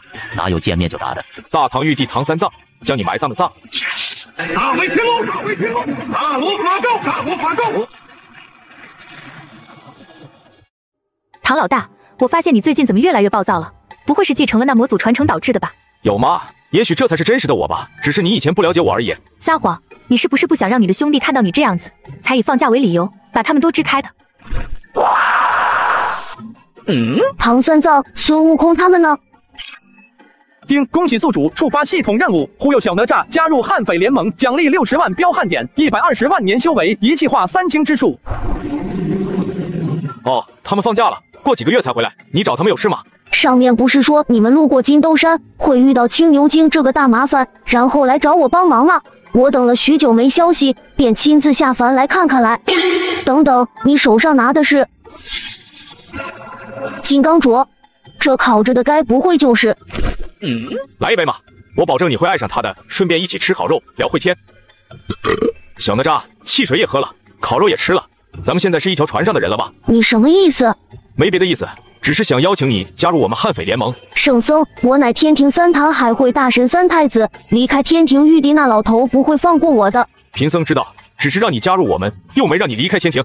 哦，我知道了，你是想让我去天庭当卧底，对吧？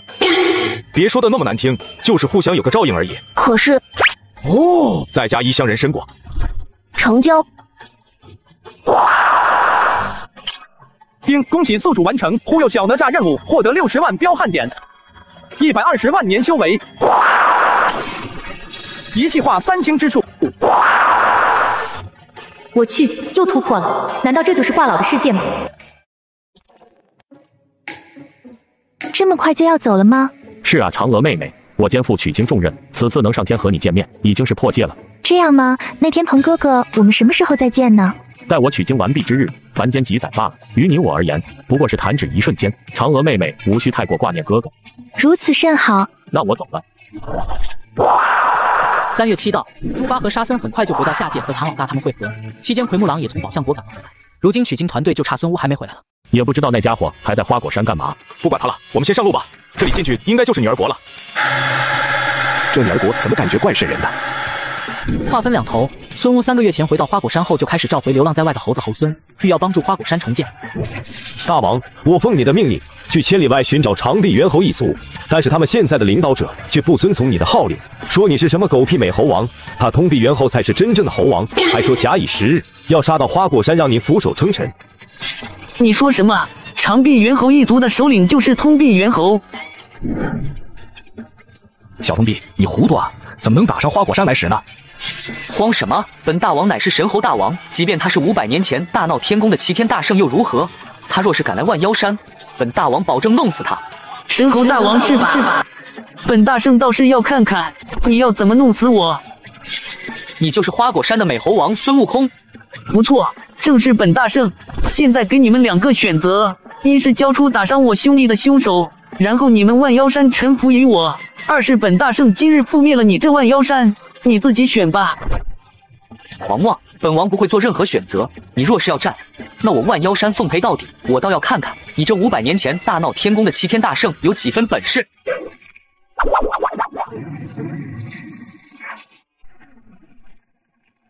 自在天宫，三百倍开。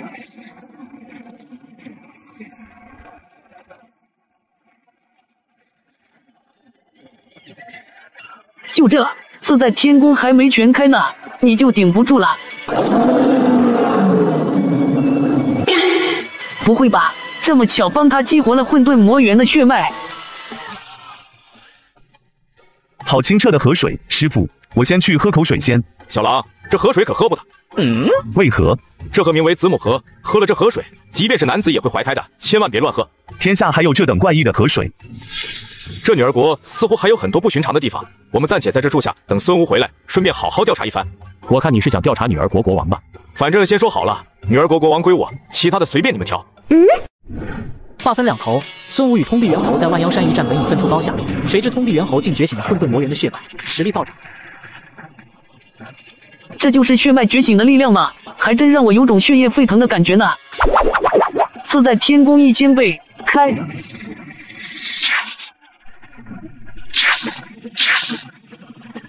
傻大个，速度这么慢吗？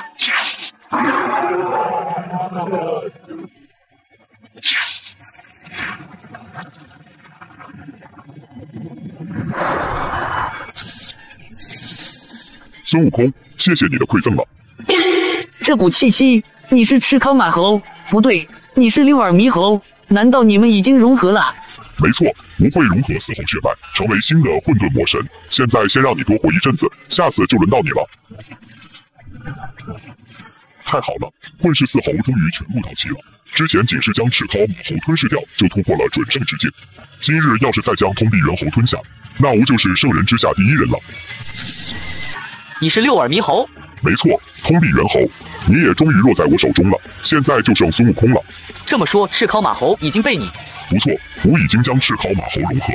今天轮到你了。今日吾就算战死，你也休想得逞。聒噪，掌中佛国。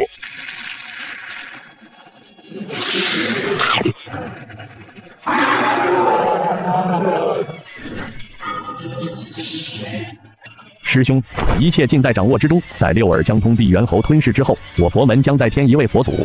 嗯，等时机成熟，我们就让六耳去代替那个孙悟空走完剩余的取经之路。师兄，你说那灵明石猴届时要如何处置？那猴子依我看是不会诚心入我佛门的。既然我们已经有了六耳，那这个棋子就可以毁了。要毁了吗？师兄，我倒是觉得让六耳将其吞噬，完善其混沌魔元的血脉，不是更好？你开什么玩笑？一旦四猴血脉融合，觉醒了混沌魔元血脉，你我还能控制得了他们？也对，那届时便将其抹杀了吧。师傅怎么这么紧张？不会是因为明日就要见到女儿国国王了吧？不是，你们没发现这西凉女国的外围似乎有些异样吗？这里就是传说中的女儿国，为何会有如此浓烈的鬼气环绕？难道我走错了地方不成？还是说这女儿国真是鬼国？火眼金睛！我去，这河底竟全是鬼胎！是谁？出来！敢问来人可是孙大圣？不错，你们这些鬼怪为何会出现于此？莫非是有什么冤屈不成？大圣爷，你误会了，我等是后土娘娘自古安排在此的鬼使神差。哦，原来是后土娘娘安排的。那你们说说，她安排你们在这做什么？是这样的，大圣爷，相传在后土娘娘生化轮回后，感应到天地间有大量的冤魂无法进入轮回，而这些冤魂都是来自于意外夭折的婴儿。后土娘娘试着度化他们，可这些非正常死亡的冤魂怨气极大，天都不收，地也不容，这让心系苍生的后土娘娘很是为难。于是她想到了一个安置这些冤魂的方法，便是找来一批慈悲善良的女人，让他们建立了西凉女国。这群女人也就是西凉女国的祖先。女儿国建立后，后土娘娘以大法力将这些冤魂都安置在了子母河中。当女儿国中有女子当立，便需要去喝一口子母河中的水，将其中排到号的鬼胎之魂渡入腹中，将其生下。当然，女儿国的人都不知道这些秘密，他们只知道这是自古以来传宗接代的方式，他们必须要这么做。而他们腹中的胎儿出生后，就可以正常的生老病死，终是得到了天地两道的认可，可以再入六道轮回，送去往生了。这便是女儿国存在的意义了。哦，至于女儿国为什么没有男人踏足，就是因为有我们的守护。那你们又为何要放我们进入女儿国呢？如果有了男人，以后女儿国的女人不就不需要喝这子母河的河水了吗？是本座安排的。后土娘娘，你们先下去吧。去吧。见过后土娘娘，后土娘娘心系苍生，真是令人敬佩。孙悟空，你来自未来，对吗？后土娘娘，你莫要紧张。你来自未来一世，这天地间除了本座外，其他人应该是不知道的。娘娘是如何得知的？本座不仅知道你是来自未来，还有唐三藏、天蓬、卷帘也是从未来的时空而来的，对吧？至于本座从何得知，那是因为本座去过你们的那个时空。什么？你说你曾经去过蓝星？嗯，无真身出不了地府，只能永世以身镇压轮回，但也因此悟得轮回大道。当年本座闲来无事，画出一缕元神送往轮回，却不曾想这缕元神误入了时空长河，投胎到了一个叫蓝星的世界。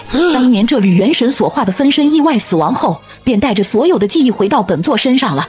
本座才知道，那蓝星原来是未来的人间界。自你们西行以来，本座也有所关注。当看到你们的一些奇怪行为和一些未来才出现的物品，便猜到你们应该是从蓝星过来的。原来是这样，只是不知道娘娘需要俺老孙做些什么。你来自未来世界，不受这个世界的天道束缚。如果有机会，本座希望你能帮我脱离天道的掌控。当然，作为交换条件，天道之下，我能保你不死，直至你成圣的一刻。那我应该怎么做？现在还没到时机，先去找你的小伙伴吧。还有，你们要经历的女儿国一难，会让这个国家面临灭顶之灾。这里是我的心血，希望你们能保住这里的一切。老唐，大家都还好吧？都挺好的。对了，老孙，你一路过来，有没有发现这女儿国外围有些异常？嗯，如此如此，这般这般。孙无将之前在万妖山的遭遇和刚刚在女儿国外围遇到后土的事情都告诉了唐三等人。听你这么讲，至少后土娘娘看起来是站在我们这边的。倒是这六耳猕猴。日后真假美猴王一难中，你俩注定会有宿命中的一战，要小心了。嗯，不想那么多了，反正按《西游记》的记载还有段时间，我们先进女儿国。次日，众人来到女儿国皇宫内。你们哪位是从唐朝来的？陛下，贫僧便是。我是 DJ 喜羊羊。青青草原我最狂。月亮不睡我不睡。你是秃头小宝贝。挖掘技术哪家强？中国山东找蓝翔。哦，全对上了，你就是神域中提到的男人。啥意思？数年前，后土娘娘曾降下神谕，女儿国将会在不久后面临一场灭国之灾。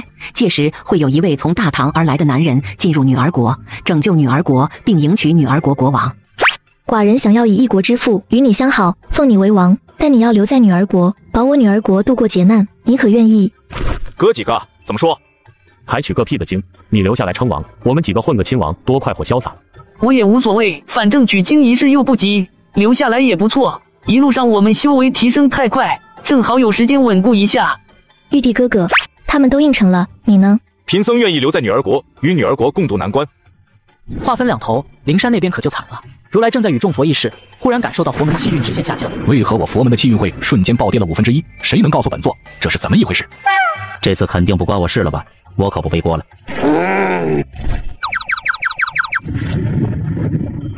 世尊可查到缘由，天机太过混乱，即便本座也无法推演。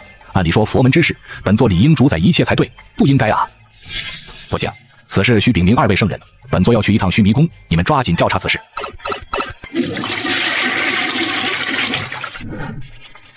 你此次前来，可是为了佛门气运受损的事情？是的，二位老师，弟子愚钝，推算不到此事的缘由，所以想请二位老师赐教。此事乃是唐三藏引起的，至于其中缘由，天机屏蔽，无法推演，你自己去查清楚吧。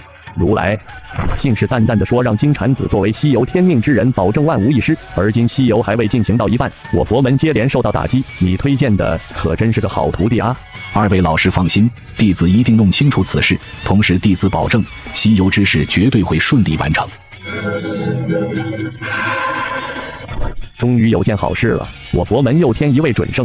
嗯。本以为观音会在西游结束之后才有望突破准圣，没想到却在这个时候突破，也是我佛门之幸了。有两位老师的培养，观音突破准圣是板上钉钉的事情。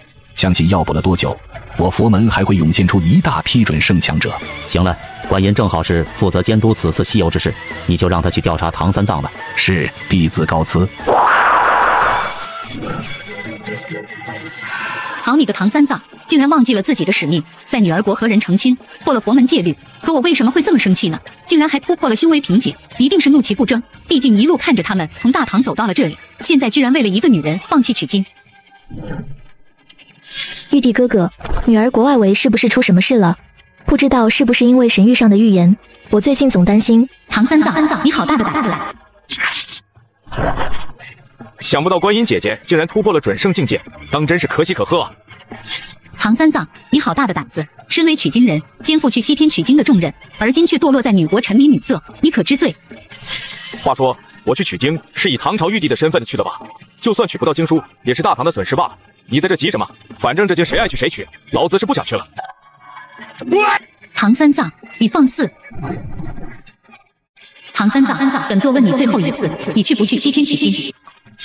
贫僧已经说了谁爱去谁去再不离开我的女儿国我可要念紧箍咒了。如今本座乃是准圣大能你莫不会以为这紧箍圈还对我有用吧？我们在千倍。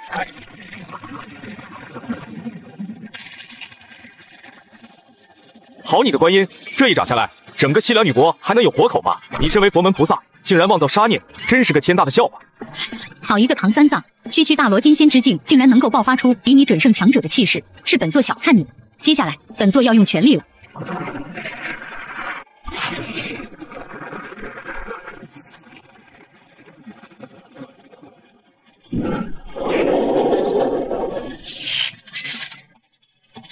唐三藏，你前世本是如来世尊的二弟子金蝉子，西行是你的使命，难道你忘了吗？你怎么能沉沦女色，堕落于此呢？你自己也说了，那是我的前世金蝉子，老子今生叫唐三藏，藏天藏地的藏，我想去便去，不想去你们能奈我何？唐三藏，我确实奈何不了你，不过你要为了这区区女儿国，放弃取经大业是吧？那就别怪我了。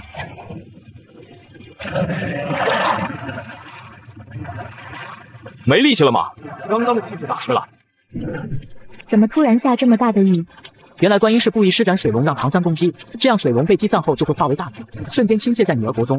女儿国因为唐三不断击碎水龙的力，现在已经处在汪洋大海之中。老唐，你中计了，他想要水漫女儿国，你看看脚底下。你快去帮忙救人，这里交给我。好你个观音，你为了让我屈服，竟然用数十万百姓的命威胁我。我这次是不是做的有点太过了？可是我为什么会这么生气？唐三藏，只要你与女儿国国王解除婚约，立刻踏上西行取经之路，我可以把海水收回，今日的事就当没发生过。嗯。先辈，开！大威天龙，大威天龙，大罗法咒，法咒。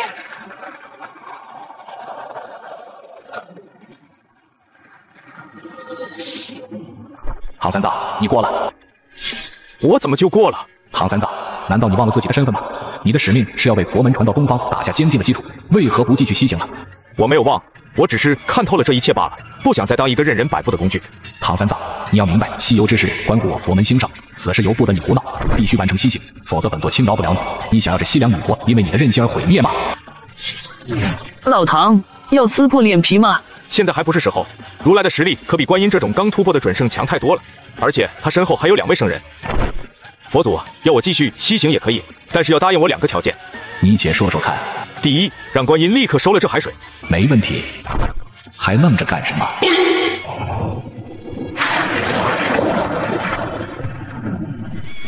好了，第二个条件是什么？第二，我要六耳猕猴的命。这也不可能。六耳猕猴乃是我佛门之人，本座不可能将他的命交给你。你们不惜违背道祖当年说过的话，也要收留那六耳猕猴。别告诉我，你们收留六耳猕猴是为了取代悟空。这家伙怎么那么聪明，好像知道了我们的计划一样。当年道祖虽然说过法不传六耳，但我们佛门也不是有意违背的，是因为那六耳一心向佛，感动了两位老师，所以两位老师才将六耳猕猴渡入佛门的。这一点，想必道祖知晓后也会理解的。至于你所说的取代孙悟空，那更加不可能。那你说？你们明知混世四猴宿命中会有一战，这时候又将六耳猕猴培养起来，是为了什么？我刚刚已经说了，我佛门普度众生，万灵皆可成佛，就如你前世是金蝉成佛一样，那六耳猕猴自然也可以入我佛门，成就福道金身。既然你不能答应我这个条件，那你就答应我，日后若是六耳猕猴和悟空对上，你佛门中人不得插手，如何？你若答应这个条件，我们就继续西行。六耳如今正在吞噬通臂猿猴，待到彻底融合之后，就会拥有四分之三的魔猿血脉，修为更是达到准圣巅峰。即便本座不出手，这孙悟空也绝不是六耳的对手。好，本座答应你，若是日后他二人对上，佛门之人不会插手。行，那就这么愉快的决定了。你们回灵山去吧。三个月后我会继续西行的。三个月？你认真的吗？难道你不知道我刚结婚吗？我不用陪陪老婆的吗？不行，三个月太久了，最多给你三天时间。三天后你必须启程。哦，那我不去了。唐三藏，你，你我各退一步，一个月后你就要即刻启程。行吧，你们回去吧。一个月后我会继续西行的。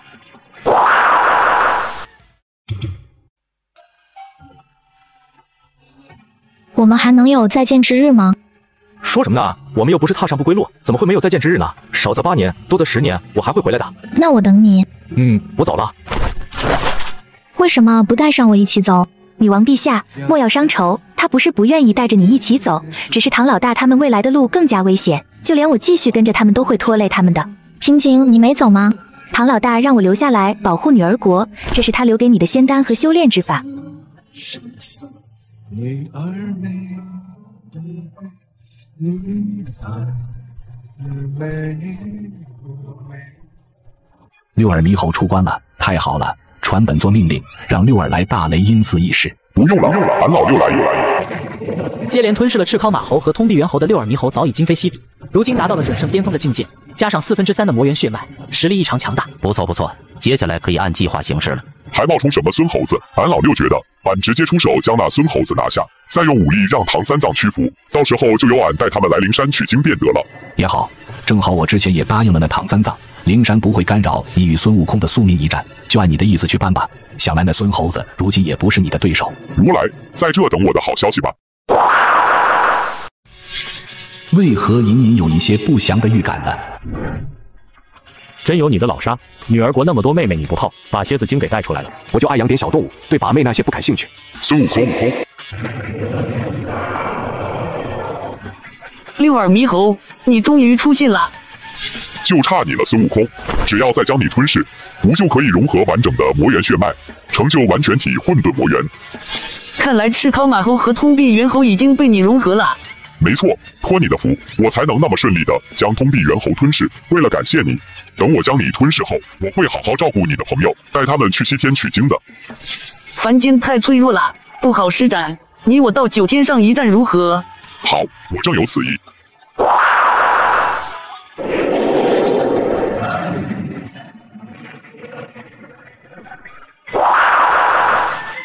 如来，你们佛门内部的争斗，为何跑到我天庭来？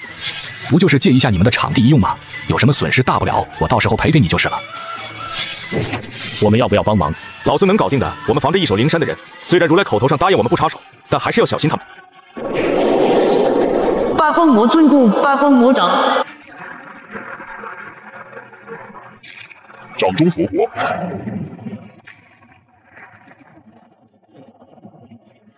老唐，你这是把底牌都交给孙乌了啊？连传承的魔道功法都交给他了，好戏还在后头呢。为何孙悟空会掌握魔道神通？难道前阵子佛门的劫难提前降临的预兆，不是由紧那罗引起的，而是孙悟空？是他得到了魔祖罗侯的传承。也就是说，圣人的预言没有错，唐三藏等人到达灵山之时，就是佛门劫难降临之日。照这么推的话，日后到达灵山的是孙悟空，而不是六耳猕猴。那今天的结局是六耳猕猴会败。这是魔祖罗侯的八荒魔尊功，你怎么可能会？还远不止如此呢！看好了，六耳猕猴是神枪，自在天宫三千倍天魔九世，第九世破苍海。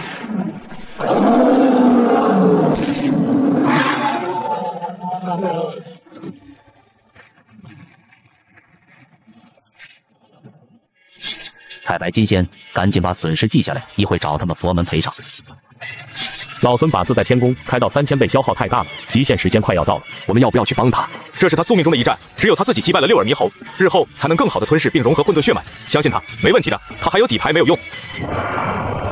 孙悟空，你真是让我大开眼界了！不仅得到了魔祖传承，还掌握了如此强大的魔功，可数千倍提升战力。可惜你的身体好像已经到极限了，没有了那魔功，我看你拿什么和我斗？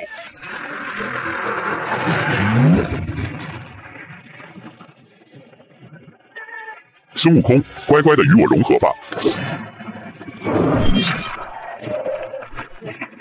撤退！快追！等等，如来，孙猴子为什么会我本尊太清圣人的一气化三清之术？就是老君的金刚镯怎么也在他手上？我怎么知道？又不是本座干的。可他孙悟空是什么人？他是不是你佛门的取经人？是不是唐三藏的徒弟？是又怎样？唐三藏乃是金蝉子转世，金蝉子是你如来的二弟子，孙猴子也算是你的徒孙了。既然如此，贫道自然是找你这个做长辈的算账。况且天庭被破坏的如此严重，你不是说你来赔吗？一起赔就是了。道友，你别过分，此事又不是本座干的。你要赔偿的话，去找孙猴子便是了，莫要无理取闹。你说我无理取闹，要不要找准提接引两位圣人给你评评理？反正你的本尊也不在，到了须弥宫就不是你说了算了。正好孙悟空是魔道传人的事情，要尽快禀明二位圣人。好，我们上须弥宫找准提接银两位老师评评理。没想到吧，六耳猕猴，你吞噬了赤尻马猴也与通臂猿猴，最后却为我做嫁衣了。孙悟空，你别高兴得太早。我如今乃是西方二圣的亲传弟子，佛门已经定下来，让我取代你去西天取经，他们不会放任不管俺老六的。哼，你我现在所在的这个地方，西方二圣可管不了。乖乖的接受命运吧。佛门怎么也没想到，他们安排来取代孙悟空的六耳猕猴在南天门被孙悟空击败生擒了。事后取经团队更是消失的无影无踪。四个二，要不起。太清圣人，你把我们请到八景宫来，不会是因为去须弥宫找那两位算账，被他们赖账了？现在想拿我们做人质吧？不错，不过说实话，我还挺喜欢你们的。我不会为难你们，你们只需在我这吃好玩好，让他们佛门干着急就行。我还可以保悟空再次吞噬六耳猕猴，不受他人干扰。那就先谢过太清圣人了。太清道友，有请出来一见一见。你们且在这等候，贫道出去会会他们。你们两个大中午的跑到我八景宫作甚？有话快说，有屁快放。太清道友，我佛门的取经团队人间蒸发了，是不是你搞的鬼？是又如何？你们佛门之人把南天门毁成那样，让你们赔偿损失，你们还不认账？那没办法，贫道只能把他们请过来了。太清，你不要欺人太甚了。欺你又如何？要不咱们打一架，你赢了贫道立马放人，你输了双倍赔偿，如何？太清道友，道祖曾言。我佛门西游乃是不可逆转的天数，而今你竟然违背道祖的法旨，阻碍西游。戒瘾，饭可以乱吃，话不能乱说。贫道可没阻碍你西游。哼，还说没有？你刚刚自己都承认把唐三藏他们抓到八景宫了。谁说贫道抓他们了？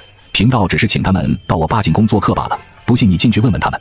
好，本座便进去看看他们是不是被你囚禁在八景宫中。王炸！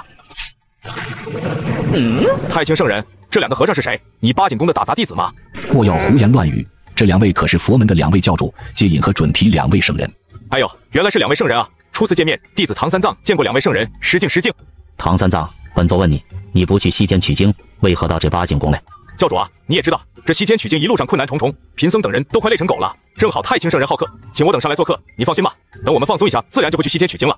那那那，你们都听到了，贫道只是请他们到我八景宫做客，并没有阻碍你西游。既然如此，那本座要带他们回去，继续上路。你们几个跟本座走吧。等一下，你们走可以，先把天庭的损失赔偿一下，不然休想从我这八景宫带走一个人。太清，那你现在岂不是阻碍我佛门西游？岂不是违背天道定数？胡说八道！贫道什么时候阻碍你佛门西游？还狡辩！你把唐三藏等人带到八景宫，还阻碍他们离去？我有阻碍他们离去吗？唐三藏，你自己说说。没有。贫僧是来八景宫做客来了，太清圣人并没有胁迫我们。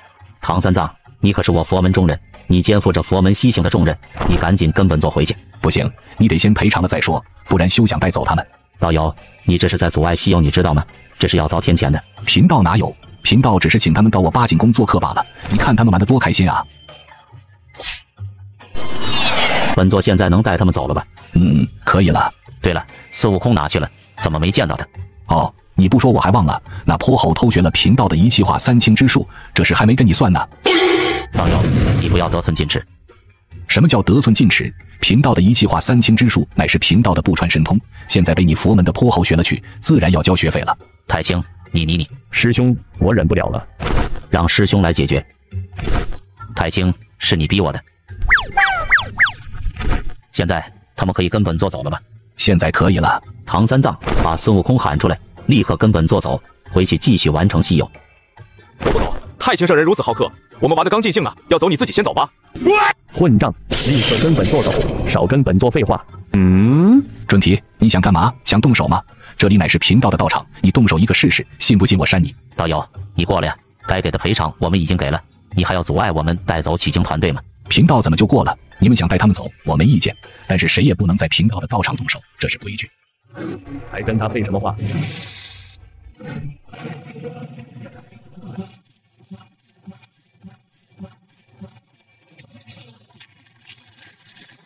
最终，唐三信誓旦旦地答应了接引准提，在八景宫做客后就会立马回去西游。准提和接引也只能如此，先行离去了。继续，这次我要抢地主。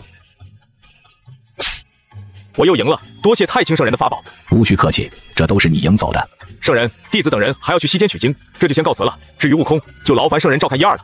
嗯，且放心去吧。他在我八景宫中，没有任何人能够打扰到他的。回到凡间后，唐三等人继续一路西行，很快就来到了火焰山。师傅，这是什么地方啊？这都大秋天了，竟然还这么热。这里是火焰山，不过无妨。以我们和牛魔王夫妇的感情，这一难想必会很轻松了。好吧，你去一趟铁扇公主那里，把芭蕉扇借来吧。包在我身上。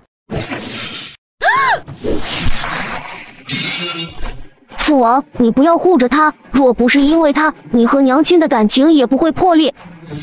你再对你后娘无礼的话，就休怪父王无情了。我没有后娘，我只有一个娘，她就是个狐狸精，不配做我娘。哟，没想到俺老猪来的正是时候啊，竟然有好戏看。八戒，你正好来评评理，这老牛竟然在外面找小三，不管我们母子死活了。哼，你还说我找小三？那你给我解释，这小子为什么天生就会老君的三昧真火？牛大哥，不是我说你，孩子是无辜的，你没证据别乱讲。而且你在外面找小三，本来就是你不对。要不俺帮你把这狐狸精带走，这样你们一家三口又可以好好过日子了。八戒，这是俺老牛的家事，与你无关。行吧，行吧，俺老猪也不是什么爱管闲事的人。我今天是来找铁扇公主的。你找我媳妇干嘛？现在又知道她是你媳妇了，你也别多想，我只是找她借芭蕉扇一用。嫂子，我们路过火焰山，那里热气难耐，想要将那里的火扑灭，所以还请嫂子成全。你且拿去吧，你们当初护住了我孩儿，这次就当是算还你们的人情了。多谢嫂子成全，牛大哥，我先走了。这牛魔王虽然平时玩的花，但对家人还是挺好的。今天也太奇怪了，像变了头牛一样。算了，人家的家事我也不方便管太多。很快，八戒便回到了火焰山，又将牛魔王一家子发生的事情跟众人说了一遍。家家有本难念的经，我们就不瞎操心了。你们休息一会吧，我去把这火灭了。算了，不想那么多了，还不如拍几张照片发给嫦娥妹妹，她一定想我了。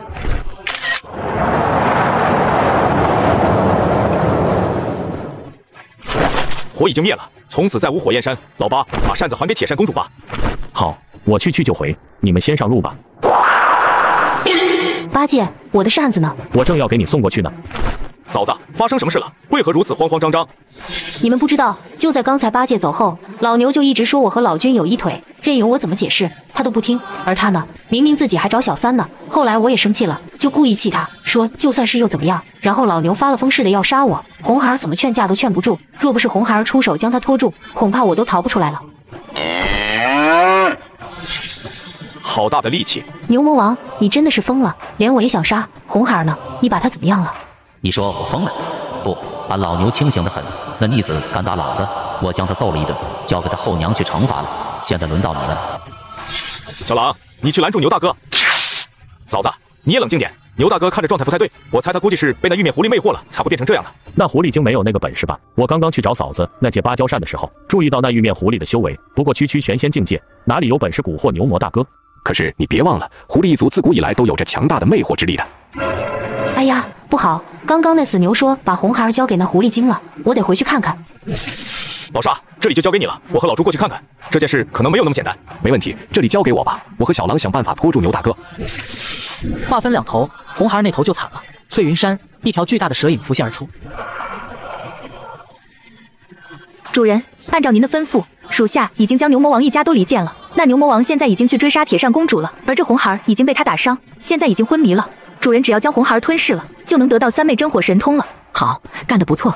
这红孩儿本王就先带走了，等那牛魔王回来，记得蛊惑他到本王的洞府中来，本王也要将他吞掉。主人，那牛魔王，你能不能放过他？玉面，本王知道你和牛魔王的感情，但是本王需要为神猴大将军报仇，吞噬他能让本王功力大涨，而且他本就是孙悟空的结义兄弟，所以他必须死。不好，妖遁大法，血遁千里。我怎么动不了了？还有一个妖孽，竟然能够在本座的眼皮底下跑掉了。罢了，本座此行的目的是红孩儿。你这妖孽，胆敢祸乱人间，伤害本座选定的童子。本来打算将你就地正法，以正乾坤的，但念在上天有好生之德，我佛有慈悲之心，今日将你打回原形，望来日你好好修行，将功补过，早日成仙。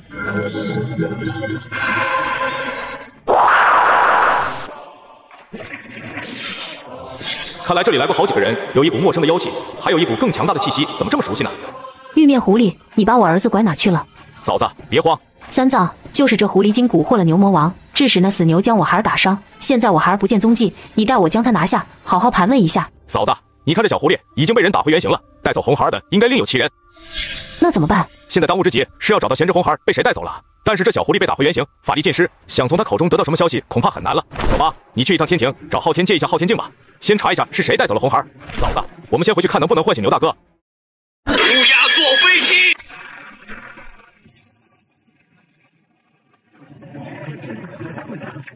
搞定。牛大哥呢？清醒了没？好像晕过去了。老牛，红孩呢？他没事吧？红孩好像被人带走了。老八现在去天庭找玉帝借号天镜帮忙查看一番。杨戬，哪吒哪去了？回陛下，他奉你的旨意下界去请奎木狼回天庭了。如此就先不管他了。诸位，我们商议一下东游之行的细节吧。见过陛下。嗯，天蓬，你不陪唐三藏去西天取经，怎么又到我凌霄宝殿来了呀？陛下，我们在下面遇到了点事，所以特地上来找你帮帮忙。哟哟哟，能让灵山吃尽苦头的西游取经四人组，竟然还有事情是你们解决不了的。陛下，你就别调侃俺们了。到底是何事？说来听听吧。事情是这样的，如此如此，这般这般。朱八与众人讲述了红孩儿失踪之事，想要借昊天镜寻找红孩儿的下落。朕还以为是什么大事呢，没问题。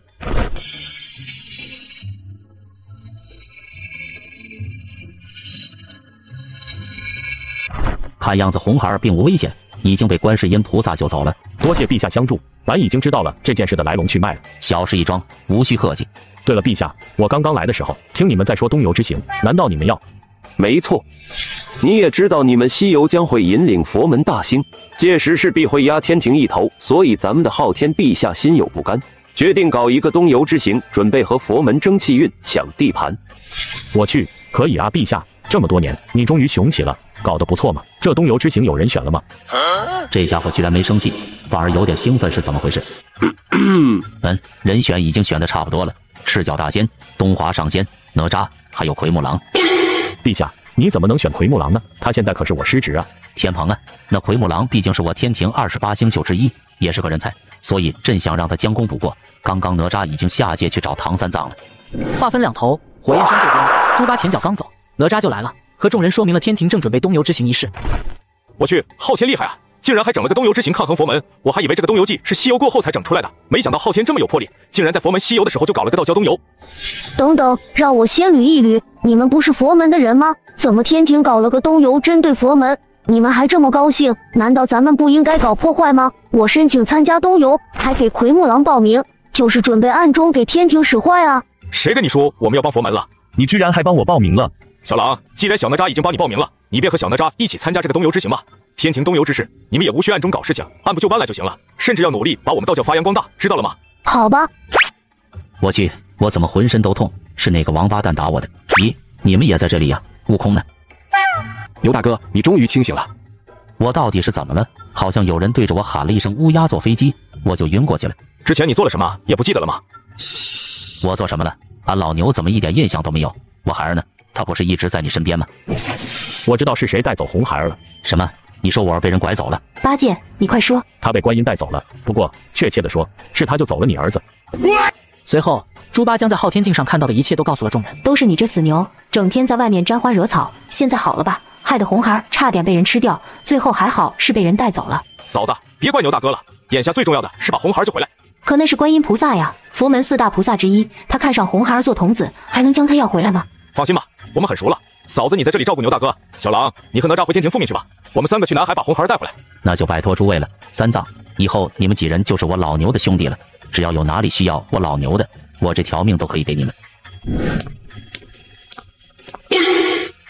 红孩儿，本座念你修行不易，天赋甚佳，想要收你为徒，你可愿意？嗯。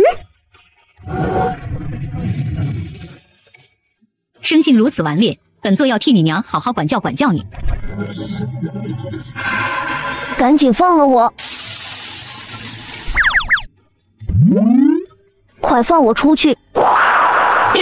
观音姐姐，好久不见。唐三藏，你不去西天取经，到我南海紫竹林有何贵干？自然是为了红孩儿而来。观音姐姐，你把他带走了，你可知道他娘有多担心他？若不是世人皆知你是大慈大悲的观世音，贫僧还以为红孩儿被坏人拐走了呢。唐三藏，本座见红孩儿天赋异禀，是个可塑之才，所以才将他带回南海紫竹林，收他为徒的。等等等等，观音姐姐，收人为徒也要问人家同不同意啊？红孩儿，你愿意当他的弟子吗？我不愿意，我要回家。观音姐姐，你也听到了，人家不愿意，你总不能强行收他为徒吧？唐三藏，你也知道红孩儿天性顽劣，迟早会出大事。本座也是念他天赋异禀，才起了爱才之心，要将他留在身边教导。这就不劳观音姐姐费心了，贤侄还不快谢谢观音姐姐的救命之恩？多谢观音阿姨救命之恩。嗯。不过这次真要感谢你，救下我这贤侄，一点小小心意你便收下吧。后会有期。老沙，我的奔波儿霸烤熟了没有？这条是霸波尔奔，还早呢，烤好了就喊你。老唐呢？还在修炼吗？嗯呢，又在修炼他那本一气化三清之术。之前孙武几天就学会了，他这悟性真不行，难怪他要开挂。唐三怎么也没想到，系统给的一气化三清之术修炼到最后一步，元神竟有种分裂的感觉。不久后，在他的元神深处便出现了两道拥有独立意识的道身。见过本尊。系统，你确定你给我的是一气化三清之术，不是斩三尸之法吗？我说宿主，系统出品岂会有凡品？这是高配版的一气化三清之术，修炼出来的是独立的道身，类似斩三尸之法，可将善尸与恶尸斩出。只不过在高配版的一气化三清之术中，没有善恶之分，统一称为神与魔。哦，以你如今的境界，只能画出一个道身，具体哪一个你自己选吧。本尊，先让我出来吧，我能够帮你搅动风云，正好你那魔道传承可以继承给我。行，那就你先出去吧，正好给我探探路。不是，按正常剧情，你不应该跟我争着出事吗？不不不，我觉得有必要苟一波再说。这个世界太危险，准圣都有可能陨落，所以我觉得我有必要等到本尊成圣后再出世。你可是本尊的神性啊，这么苟？停停停，就先让魔道分身出世吧。要赋予一个什么样的容貌给魔之道身呢？有了，爸爸的好朋友杨教授，当年在蓝星能将我的那段记忆尘封起来，想必也是个奇人，平时也很神秘，很符合我这魔之道神的气质。老唐，这不是杨教授。不是，这个是我的魔之道身，只是将杨教授的容貌赋予他了，大家就暂且叫他小黑吧。我去，道身，你什么时候会斩三尸之法？系统送的一气化三清之术，不知道为何我修炼起来会不一样，很难解释。真是活久见，在西游世界还能见到蓝星的人，拍个照记录一下。嗯，老唐，小黑哪去了？这是祭赛国丢失的国宝，帮你们取回来了。碧波潭的九头蛇刚刚也顺手解决了。明日你们拿着这个去找国王，便可以兑换通关文书，继续上路了。不愧是魔道化身了，人狠话不多。小黑，魔道之事之后便劳烦你了，这神枪今日也一并交给你了。放心吧，本尊，我办事你放心。从今往后，我会让佛门颤抖在魔道之下。后会有期。紫霄宫中正在打坐的道祖似乎察觉到了什么，嘴角微微一笑：“小三啊，小三，你这孩子还真是让人出乎意料啊！也罢，老夫这肖像权就暂且借给你们使用吧。”次日，唐三几人兑换了通关文牒之后，便再度踏上西行的征途。下一站便是小雷音寺，由弥勒佛座下弟子黄眉老祖在此设下的一难。没想到这样的美差还能轮到我黄眉，这段日子在人间过得太舒服了。据说那唐三藏几人马上路过此地，到时候只要给他们制造点麻烦，待到西游结束，就能分得一些功德。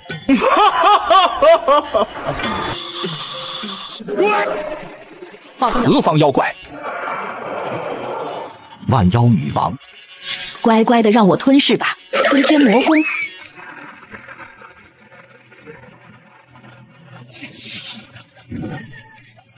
不好，黄梅被嘎了，难道是唐三藏他们到了？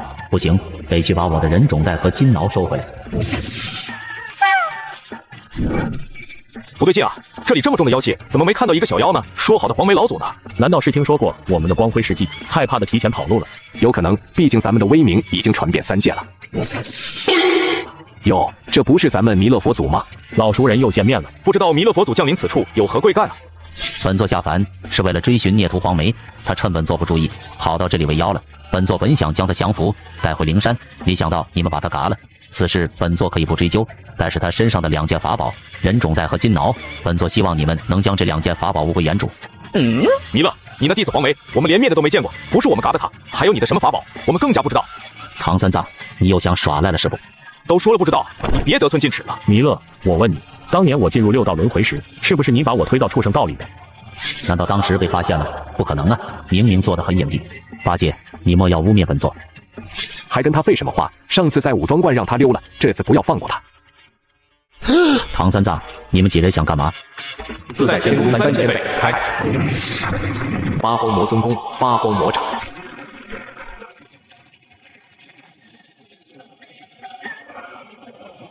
八荒魔尊功，天赠秘密。八荒魔尊功，魔怒火炎。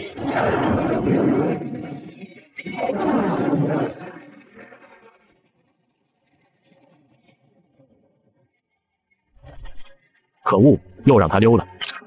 并检测到宿主行为过于彪悍，奖励二十万彪悍点，四十万年修为。加强版紧箍圈一个，会员圣人体验卡一张。好家伙，又突破了！老唐，你这体验卡多长时间的？只有三分钟，我怀疑系统是在内涵我。这个倒还不错，如果我没记错的话。前方朱子国一难会出现的金毛吼，就是观音姐姐的坐骑。那还等什么？赶紧出发吧！话分两头，自上一级唐三的魔知道身与他们分开后，便独自前往天魔界。看来是本尊又突破了，也好，此次天魔界之行就更有把握了。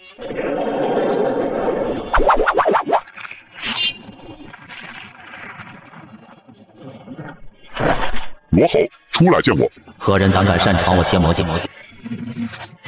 我去，红军。罗侯，好久不见。红军，你怎么找到我天魔界来的？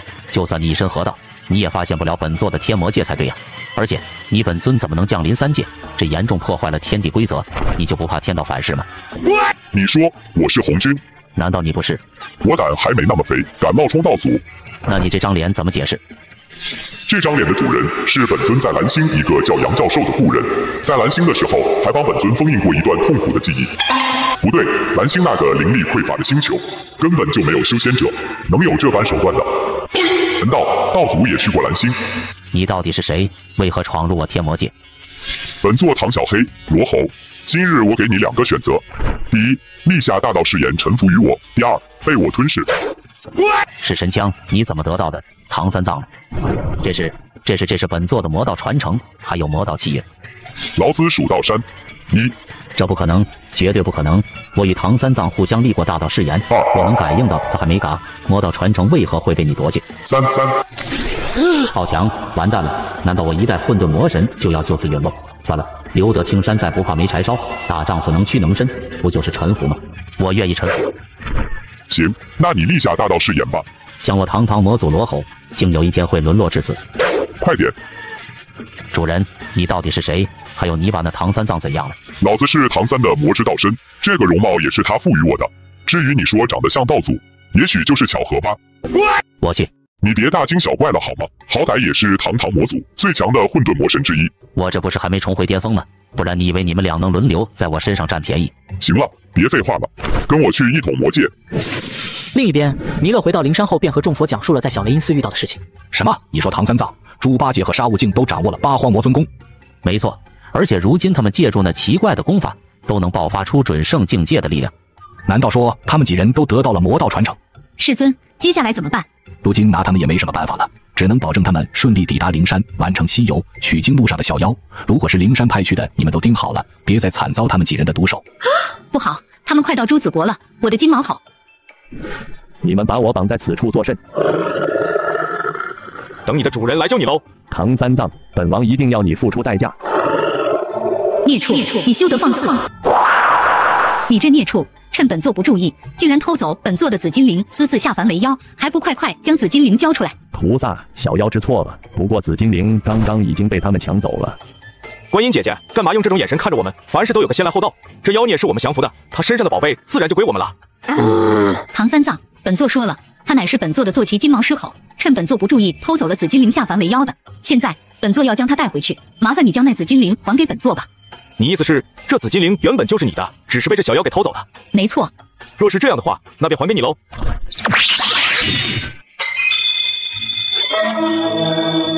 又来。唐三藏，你别以为每次拿个圈圈就能当紧箍圈用。上次佛祖赐下的那枚紧箍圈已经被我收回了。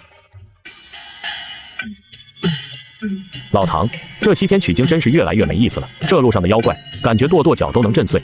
就是不知道老孙现在怎么样了，在太清圣人那里闭关好久了。老孙应该很快就能回来，你们不要掉以轻心。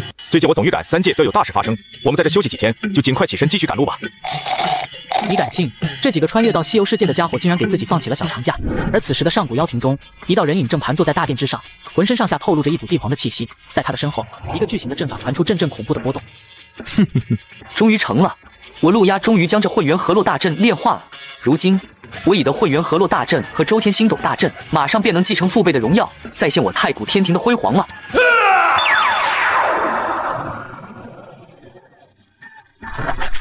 原来上古法宝敦煌钟就封印在太古天庭中，只要将两个大阵完全炼化，便可开启。难怪我这些年寻遍三界也没发现一丝踪迹，如今却是得来全不费功夫，简直天助我也！以无路鸦之名，焚无妖皇之血，东皇钟还不快快认主！此刻。东皇钟的钟声响彻整个三界，似乎在向世人宣告着，沉睡了无数岁月的三界之主即将重回这片天地。如今整个太古天庭和东皇钟都被我掌控了，加上有混元河洛大阵为根基，除去圣人之外，任何来犯之敌都无惧了。哼哼哼今日，今日，无路鸦以妖皇之名重组妖族天庭，无妖族儿郎们，速速前来天庭觐见你们的新皇。这是东皇钟，太古天庭传来的声音，走去看看。是东皇钟显示了，此乃先天至宝，镇压太古天庭的无上至宝。现在现世，难道太古天庭要重建三界了吗？哼！传朕口谕，东游之行暂停，所有天兵天将回天庭备战。这三界只能存在一个天庭。东皇钟响，是太古天庭现世了。那东皇钟与我佛有缘，当为我佛门的镇教之宝。所有人与本座一同，将镇教之宝东皇钟接引回来。昊天道友，太古妖庭出事，首当其冲的就是你天庭吧？不知这件事你当如何呢？如来道友，你莫要忘了，你佛门众人那个佛陀菩萨座下没个妖兽坐骑。如今太古妖庭现世，那陆鸦又自封妖王，想要重新一统妖族，到时候你佛门想要独善其身，恐怕也是不可能的了。这就不劳好天道友担心了。我佛门有二位圣人庇护，让那陆鸦如何蹦跶，也奈何不得我佛门的。倒是道友你的天庭啊！要知道，自古以来一山不容二虎，何况是两个天庭呢？如来。你什么意思？别以为朕不知道你的想法。你想看我们两个天庭互相争斗，再坐收渔翁之利？道友说的哪里话？这是你们两个天庭之间的争斗，与我佛门何干？这也不跟你废话了。要么你我联手，战果平分；要么你佛门就一边待着去，别给朕捣乱。当然，如果你不与我天庭联手，你到时候也别想捞到一点好处。别以为你佛门可以拿两位圣人来压我，朕乃是道祖钦定的天帝。这家伙还真是越来越霸道了。若是陆压被他拿下，那太古妖庭的一切岂不是全归他天庭所有了？道友联手倒也不是不行，就是这利益怎么分的？道友这么说的话，是要和我天庭一起讨伐这妖庭了？没错，这样吧，解释东皇钟与太古妖庭归我佛门，混元河洛大阵和周天星斗大阵归你天庭，如何？如来，你当我傻子吗？不然你说怎么分配？混元河洛大阵和周天星斗大阵归我天庭，东皇钟可以给你佛门，但是那太古妖庭的气运，我们一人一半。好，成交。吴白泽率领十万妖众参见妖皇陛下。吴继蒙率领十万妖众参见妖皇陛下，吴英昭率领十万妖众参见妖皇陛下，吴鬼车率领十万妖众参见妖皇陛下。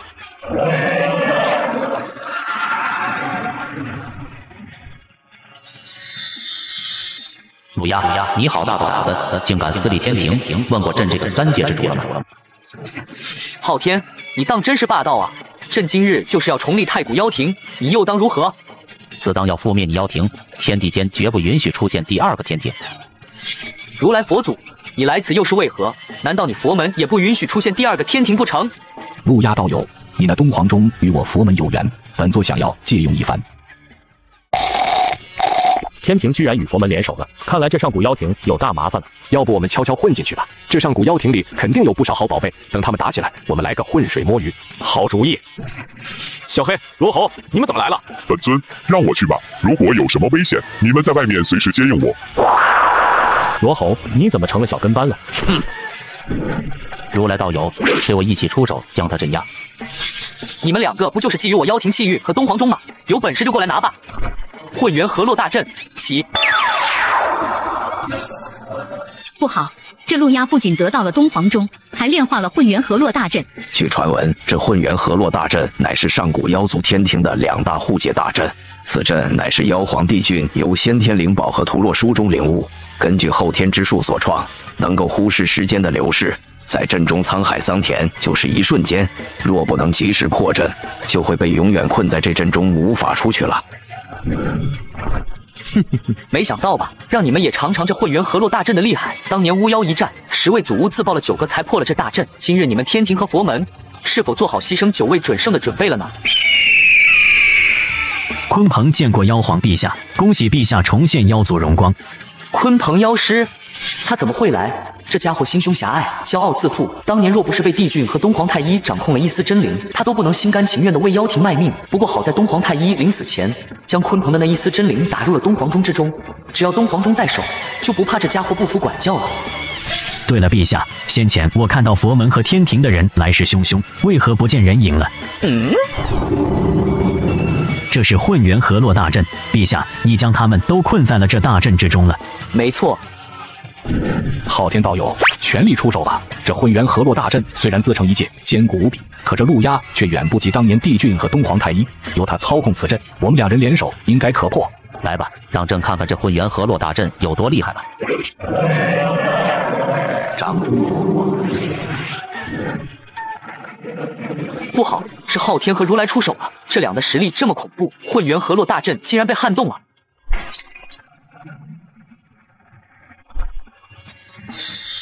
阿弥陀佛，善哉善哉！路亚道友，混元河洛大阵已破，且看你还有什么能耐。传说中的混元河洛大阵也不过如此。如来，昊天，想不到你们还真是有点本事，竟然能够破了这混元河洛大阵。不过不要以为这样就能打败我妖庭了。众妖听令，今日佛门与天庭犯我妖庭威严，势必要让他们有来无回，给我杀！鲲鹏，你又想和当年一样临阵脱逃吗？只要你能助妖庭解围，那我便还你自由，如何？妖皇陛下，此言当真？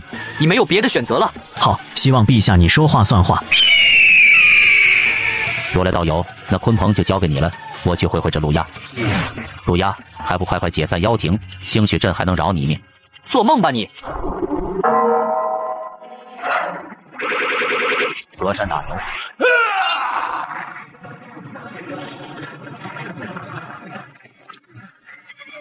按我们之前的约定，东皇钟归我佛门。这东皇钟，本座收下了。道道道道祖，竟然是道祖降临。吾等参见道祖。难道真有这么像吗？如果这张脸真的跟道祖一模一样，本尊赋予我这个容貌的时候，道祖应该有所感应。而今过了那么久，没有任何动静，难道是默认了？呼叫本尊，呼叫本尊。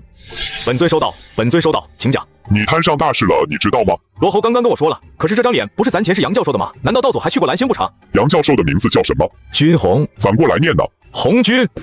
现在在我面前，天庭佛门和妖族都喊我道祖呢，我怎么办？要不你试试看，装一波道祖，看看道祖会不会有什么反应？这也能是的吗？有反应，那我不是小命不保了？你自己看着办吧。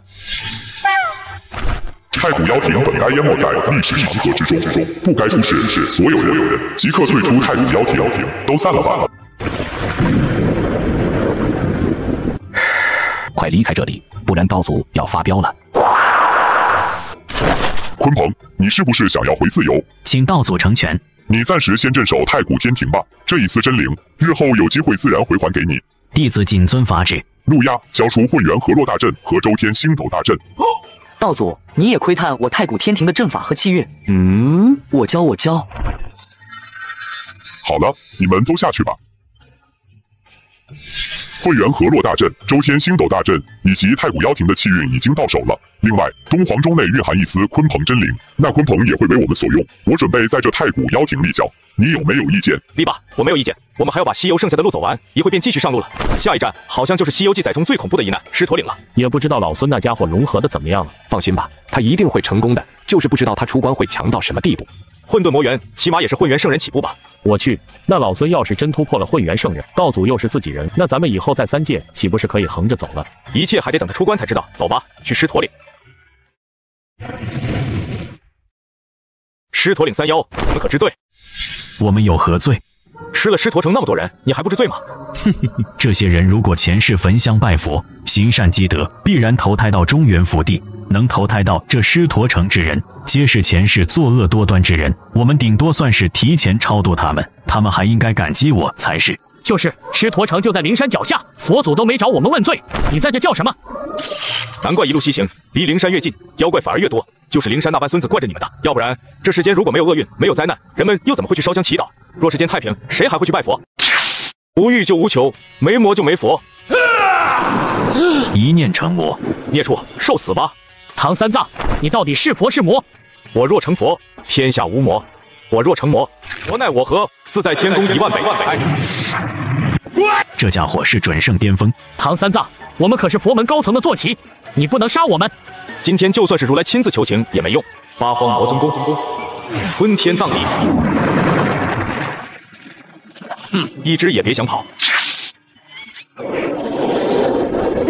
金翅大鹏，自你诞生以来便以众生为食。今日我唐三藏以人族的名义向你讨要这份因果。唐三藏，你可知道我是谁？快放了我。我的好侄儿，快救我。唐三藏，你也知道他的身份，住手吧，把他放了。你嘎了青狮和白象之事，我可以不予追究。我要是不放呢？大胆，唐三藏，胆敢违抗师命，还不快放开金翅大护法。师命，谁是你的弟子？今日就算是道祖来了，我要在你面前捏爆你的小鸟！唐三藏，你敢？你看我敢不敢？逆徒，本座待你不薄，为何要做出如此违背佛门之事？难道背后有人指使不成？无人指使，我只是单纯的觉得佛门的宗旨与我的理念不合罢了。唐三藏，你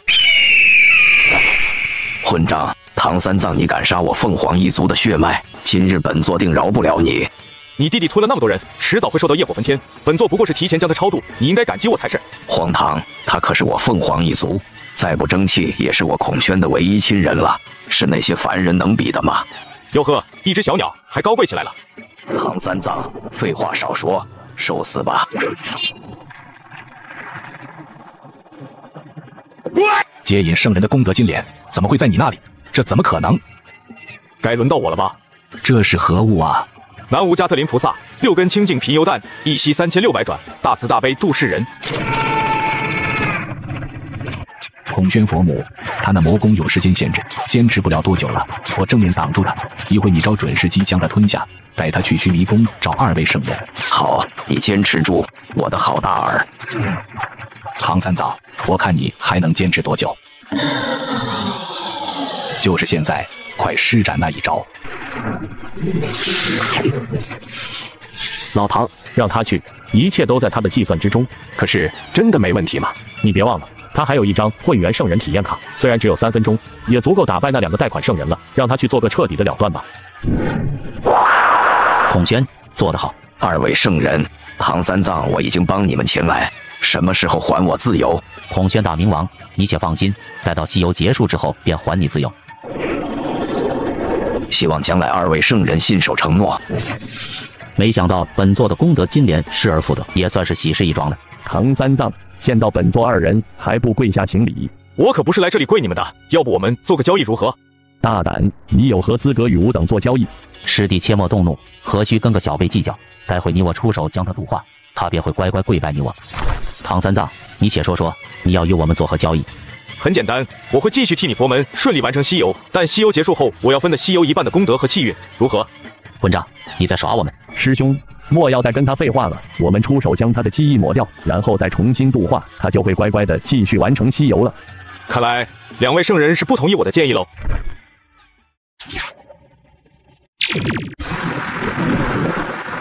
什么？唐三藏成圣？还是还是混元圣人？这是混元圣人之力。这个方向是须弥宫那边，莫不是准提和接引其中之一修成了混元大道？不可能，就那两个贷款圣人，连普通圣人都比不上，如何能修成混元大道？嗯，师兄如何？天机无法推演。当今三界之中，除了我们老师，还能有谁是师兄你无法算到的？还有一人，唐三藏。这就是圣人的力量吗？接引准提，现在本座有资格与汝等做交易了吧？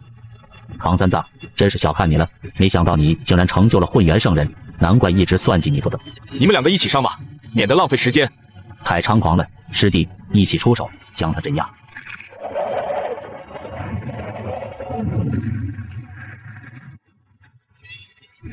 区区贷款圣人也敢与我争锋？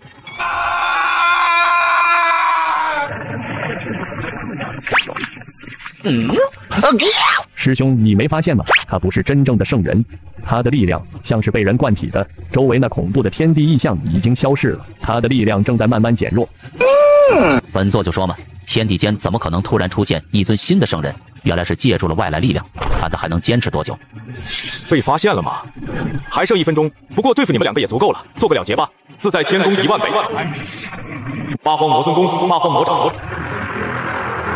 师兄，我好像被压制住了，完全动弹不了。汝等都住手吧！嗯，道道道道祖，道祖红军竟然真的和蓝星的杨教授长得一模一样，他们是同一个人吗？汝等之事，本座已然知晓，莫要再起争斗。且西游乃是天道定数，此数不可逆，不可不为。唐三藏，西游之事继续完成，莫要再惹是生非。道祖亲自出手化解，此事看来只能就此作罢了。可惜了我的混元圣人体验卡，白用了。知道了，戒也。西游之事如期进行，佛门当大兴，汝等与唐三藏的恩怨也就此结果，莫要再为难他们几人了。谨遵道祖法旨。那个方向是八景宫传来的，不好，孙武有危险。道祖，那唐三藏还没把功德金莲还我呢，怎么跑了？嗯，刚说了，莫要再与唐三藏起争执，其余的事等西游亮劫之后再说。我去，这又是什么情况？这几个取经人怎么回事？那猴子也要正道混元圣人吗？走去后院看看。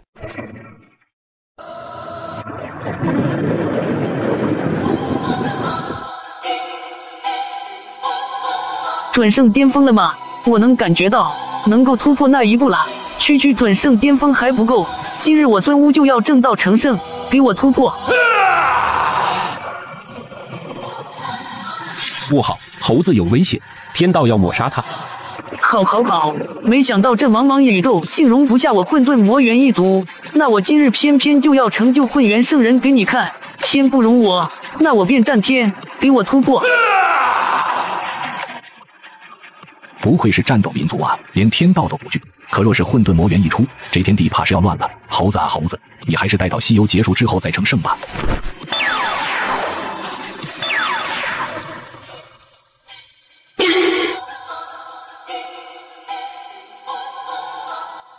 雷劫消失了，是老师出手了，将他全身混沌魔元的血脉给封印了。如今他突破不了混元圣人，天道也不会将他抹杀了。嗯，孙悟，没事吧？没事。你怎么搞得比我还狼狈？老朱和老沙呢？他们还在狮驼城等我呢。我们一起回去吧。道祖已经发话了，西游乃天道定数，我们还得把这段路走完。那便去吧。还记得我们在这个世界相遇第一天就说过的话吗？如今就算那里有十个如来，我们也不惧了。自唐三藏在狮驼岭遇难打了三妖，孙悟融合了混沌魔猿血脉回归之后，取经路上收到消息的小妖怪都躲得远远的。很快，几人便来到了比丘国。请问老者，这城门上写的是比丘国，怎么改成小儿城了？原本呐，这是比丘国，这如今呐，改名小儿城了。What the fuck？这老头是说了个寂寞。你们过来看看，《西游记》第七十八回。比丘国国王身染重病，昏庸的国王听信妖言，要用一千多个男孩的心肝做药引。为此传下圣旨，命百姓选送小儿装入鹅笼，听候使用。抓紧进城救人！这已经触碰到我们的底线了。老沙、老朱，你们把被关的小孩救出来，送回各自的家里。老孙，我们去皇宫，分头行动。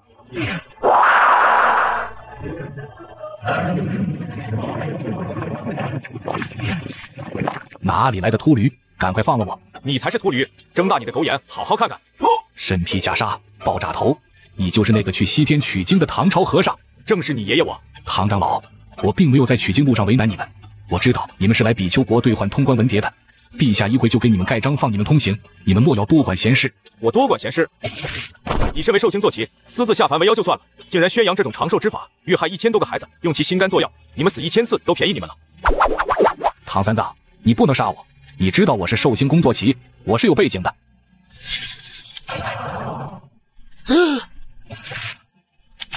第二日传来消息，国王死在了自己的皇宫中，旁边还留了几个字：多行不义必遭天谴。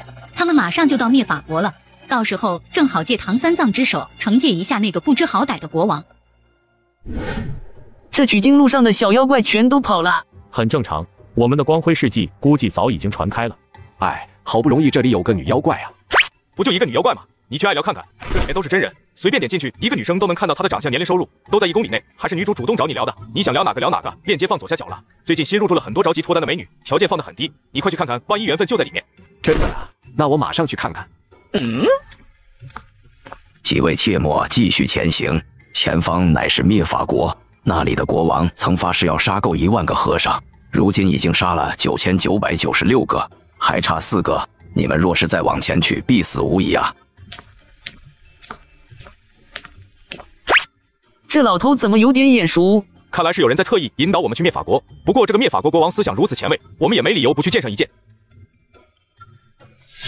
尔等和尚，好大胆子！明知道本王最讨厌和尚，还敢前来！来人，把他们抓起来！等一下，你哪里看出来我们几个是和尚了？嗯，前几日还有仙人托梦于我。说有四位和尚会途经我灭法国，去往西天取经。你们不是那四个从东土大唐而来的和尚吗？实不相瞒，我们确实是从东土大唐而来，去往西天。不过我们跟你是同道中人，此行目的乃是为了踏平灵山。至于经书，陛下家里要是厕纸快用完了，到时候我可以托人送过来给你。哦，原来是同道中人，我明白了。你们假装打扮成和尚的模样，就是为了混入西天。妙啊，实在是妙！我只是敢在灭法国的境内干这事，你们居然打算杀到西天去，不服不行啊！我也很佩服陛下，这里距离灵山这么近，陛下属实是有胆魄呀。陛下，你可知道，我们一路行来，经过了很多地方，那些地方的国王百姓们们都把那些和尚供得高高在上，偏偏那些地方妖怪偏多，灾难诸多，反倒是你这灭法国天清地明，这皇宫上也有紫气缠绕，显示你这灭法国未来都将国泰民安啊！哼，我早就看穿了佛门那些虚伪的做派了。等你们到了灵山，帮我多嘎几个和尚。看来这一路上也印证了之前的一个说法，那就是有佛的地方就必然有魔。我们从大唐一路西行过来，越靠近灵山，这妖怪是越来越多，也越来越邪恶。没错，你看那车迟国那里非常敬重道士，虽然江阳路虎三妖奉为国师，但他们也没有做什么坏事，还一直保佑车迟国风调雨顺。看来我们应该更加坚定我们此行的目的。说到阳路虎三妖，也不知道他们现在在女儿国过得怎么样了。你是想阳路虎三妖，还是想你的女儿国国王了？该死，这唐三藏怎么永远都不按常理出牌呢？把经书捡起来，把经书捡起来！拿命来！世尊，你又做噩梦了。唐三藏他们几人现在到哪了？刚经过隐雾山，降服了南山大王，如今快到凤仙郡了。哦，这么快？那不是哪吒和奎木狼他们吗？不好，那蛇妖追上来了！哎哎，不可以！哎别！那蛇妖怎么有点眼熟？这蛇妖挺猛啊，居然吞了赤脚大仙。等等，我想起来了，我在万妖山见过她，她是万妖女王。万妖女王？你们忘了，通臂猿猴有一追求者，就是这个蛇妖，名为万妖女王。她有一颗万妖金丹，可通过吞噬获得别人的神通。师傅，救命啊！这妖孽将赤脚大仙给吞了，您快把他救一下吧，要不然等会咱们就要吃席了。不必担心，这蛇妖消化没那么快。孙悟空，没想到我们这么快就见面了。我跟你很熟吗？别以为我长得像通臂猿猴就会喜欢你，你死了那条心吧。怪不得你一直单身。混蛋，你害死了神猴大将军，我今日要替神猴大将军报仇。赤脚大仙的天残脚，悟空师叔竟如此轻描淡写的就接住了。通臂猿猴是被六耳猕猴所害，也与我无关。你撒谎！我明明在你身上都能感受到神猴大将军的气息。懒得跟你废话了，把赤脚大仙放出来吧，我可以不嘎你。你做梦！真是执迷不悟，那就别怪我了。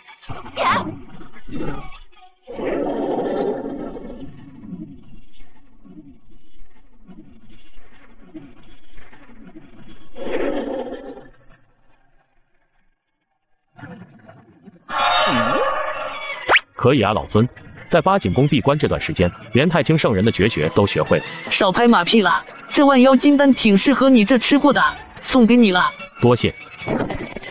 老唐，这万妖女王怎么处理？这万妖女王也是个可怜的痴情种，放了吧。如今她失去了万妖金丹，也掀不起什么大浪了。太彪悍了，我的悟空师叔。好了，准备继续赶路吧。小狼，你们刚从那边过来，前面应该就是凤仙郡吧？没错，不过那凤仙郡的问题我们已经解决了。哦，那凤仙郡原本是天竺国最富庶的一个郡，只因郡守当年与老婆吵架，掀翻了供桌，然后又让狗吃了地上的贡品，而这一幕正好被玉帝知道了，导致这凤仙郡受罚大旱三年。经过我们的教育后，他们已经知错了。如今玉帝已经撤销了对他们的惩罚，他们对天庭也是感恩戴德的。做得好，小狼，你们此番东游，好好将我们道教发扬光大，包在我们身上。为师没什么礼物送给你，那只金钱豹就随你们一起东游，充当你们的脚力吧。想我堂堂南山大王，竟然有一天会沦落至此。离开凤仙郡之后，唐老大几人再没撞见哪只不开眼的妖怪出现在西行路上。很快，四人一马车就来到了灵山的脚下，天竺国。哇哦！你们看，这天竺国的公主是玉兔精变的。嫦娥仙子，我是来带玉兔回月宫的。老沙，给你们一天的时间，好好把握哦。这次能不能追到，就看你的了。多谢嫦娥仙子。八戒，你看谁来了？真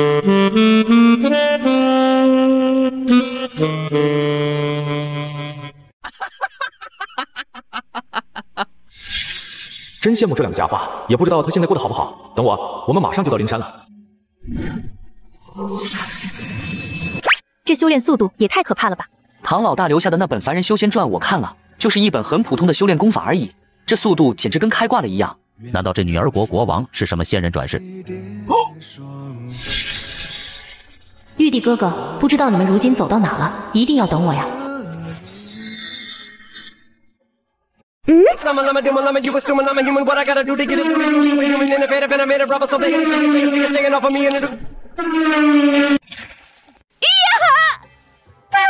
你也做噩梦了？世尊，西游亮劫结束后，我佛门不应该大兴吗？为何唐三藏几人马上抵达灵山，反而会有不祥的预感？据两位圣人所说，天道出现了变数，我佛门本应在五百年后经历的一场浩劫提前了。如今这场浩劫将出现在西游大劫结束之时。啊！唐三藏几人到哪了？已经在灵山脚下了。哥几个终于抵达灵山了，走吧，最后和他们做个了断吧。结束了这档子破事，我们就自由了。拽得跟个二五八万一样，真想上去给他们一人一个嘴巴子，也不走个过场，直接就冲入大殿。罢了罢了，那唐三藏可是能吊打接引准提两位圣人的存在，虽说好像是借用了外来力量，那也不是自己惹得起的，还是按流程来吧。你那东土乃南部詹州，只因天高物厚，物广人稠，多贪多杀，多欺多诈，不尊佛教，不向善缘。如来硬着头皮批判了整个东土，听得唐三等人冷笑连连。等等等等，你怎么好意思说人家南部詹州？如来，你这犀牛贺州什么鬼样子？你心里没点数吗？放肆！眼下最重要的是将经书塞给他们，让他们带回东土，好完成西游，尽量不要和他们起冲突。是，世尊。将经书呈上来，赐予他们。等等，嗯，唐三藏，你还有何事？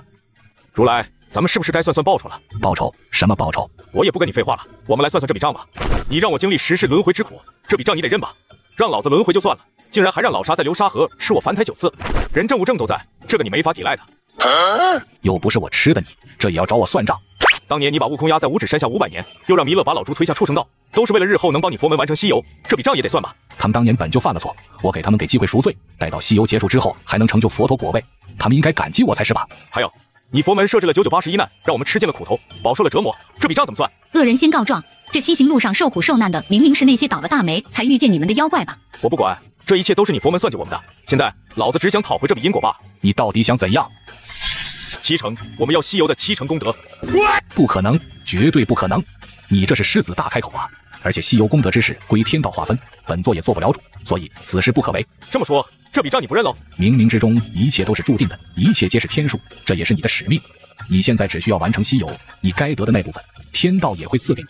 如来，唐老大让你交出七成西游功德，还让你佛门占了三成，已经很给你面子了，你别不知好歹。答应他。接引圣人，先稳住他，待到西游大劫结束之后，功德之事可由不得他唐三藏做主。天道是公平公正的，届时天道是不会因为唐三藏一个无理的要求就赐予他七成西游功德的。好，本座答应你，西游功德尔等占七成。这怎么办？本来只是想找个理由跟他们闹掰，没想到这么过分的要求，如来竟然答应了。这帮虚伪的家伙，说一套做一套，肯定又想着怎么算计咱们。随机应变吧，看看这如来到底要搞什么飞机。那就多谢佛祖恩赐了。丁检测到西游还差最后一难，请宿主做出如下选择：一、配合佛门给出的劫难并完成，奖励宿主一成西游功德，册封宿主为旃檀功德佛，受万佛敬仰；二、反客为主，主动出击，宿主将成为佛门最后一难。哦，那还用选吗？西游最后一难，就让他整个佛门来承受吧。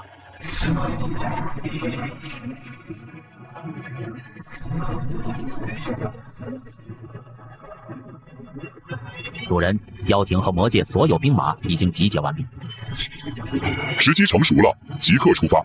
目标：灵山大雷音寺。什么情况？为何会天生异象？燃灯，你暗中推算一下，到底发生什么事了？本座先应付一下唐三藏他们再说。好的，世尊。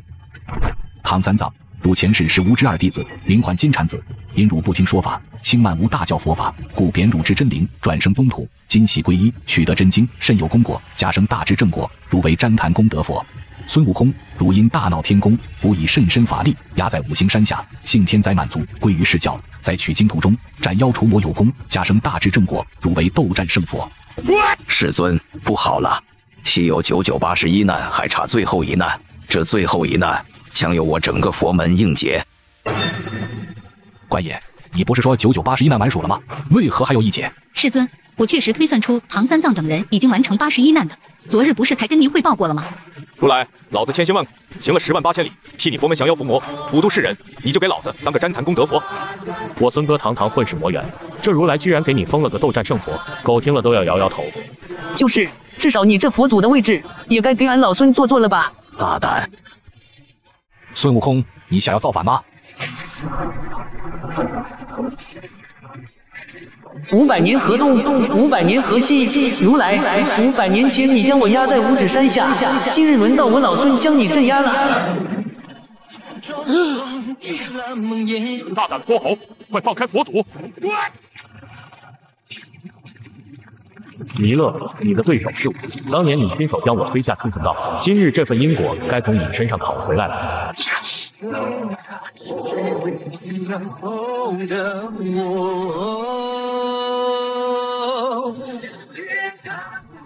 下去吧。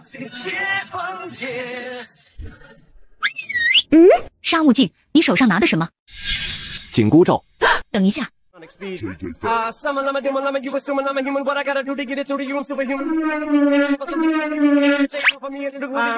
快去天庭请玉皇大帝。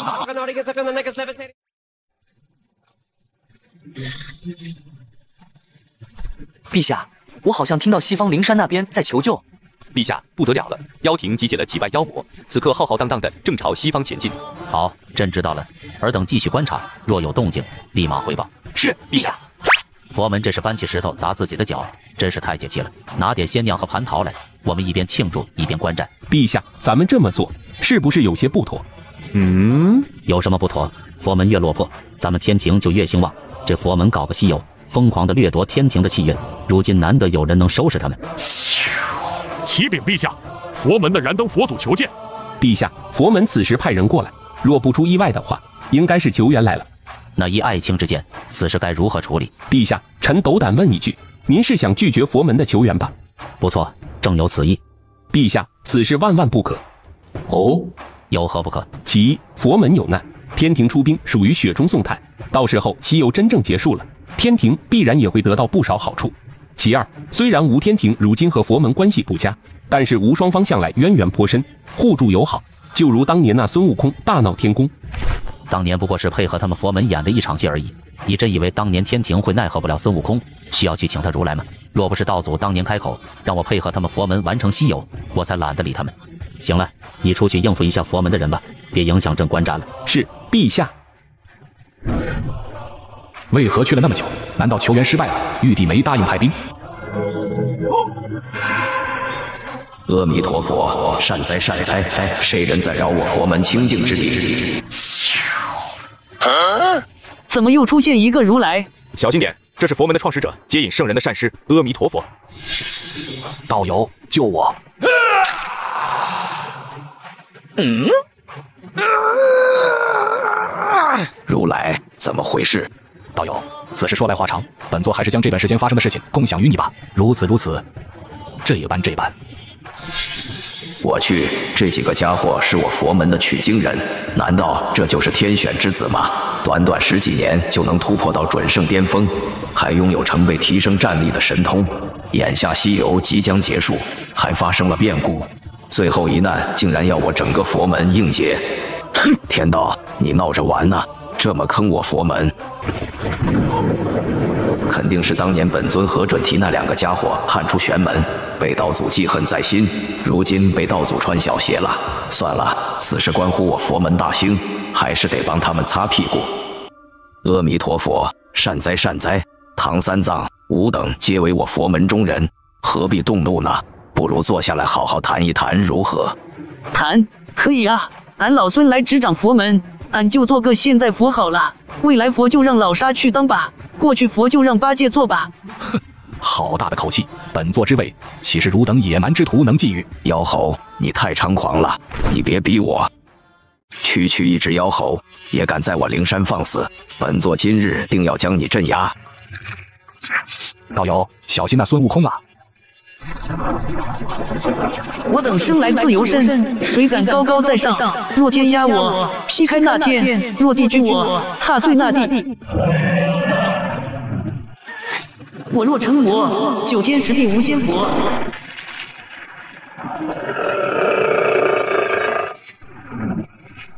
是混沌魔神的力量，没想到这孙悟空真的融合了四猴血脉。难道天道要亡我佛门？燃灯，天庭那边怎么说？玉帝不肯派兵。世尊，不好了！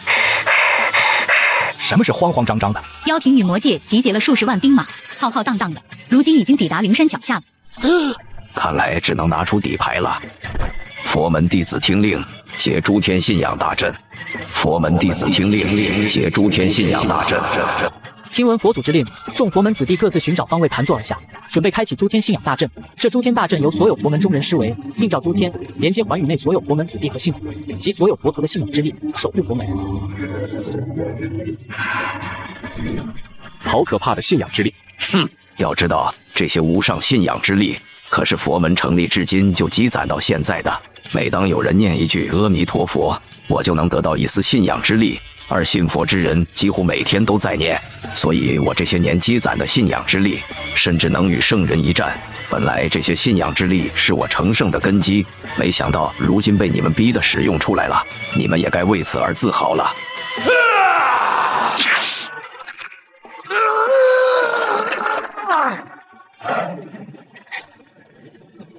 不愧是圣人道身，孙乌城主，我去破了他这诸天信仰大阵。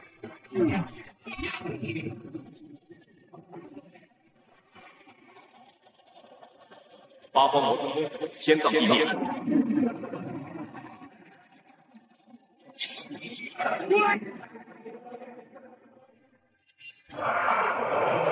天机混淆，命数改变，逆转乾坤。无魔道大兴之日就在今天。所有人听本座命令，攻入灵山，将灵山给本座拿下。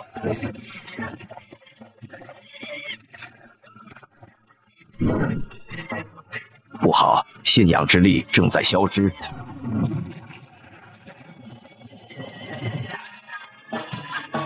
西游九九八十一难最后一劫，竟然是要我整个佛门应劫！师弟，西游的九九八十一难是道祖提出来的，我们这就去紫霄宫见一见道祖，让他出来主持大局。好，也只能如此了。弟子求见道祖。接引准提，你们有何事？启禀道祖，西游之事乃是天定，也是您立下的劫数。可那唐三藏一行人不但不遵守天数，还以下犯上，摧毁佛门，还请道祖降下法旨，严惩他们。准了。不过西游乃佛门之事，唐三藏四人也算是佛门中人。正所谓家丑不可外扬，本座将他们送来九天之上，尔等自行解决吧。嗯。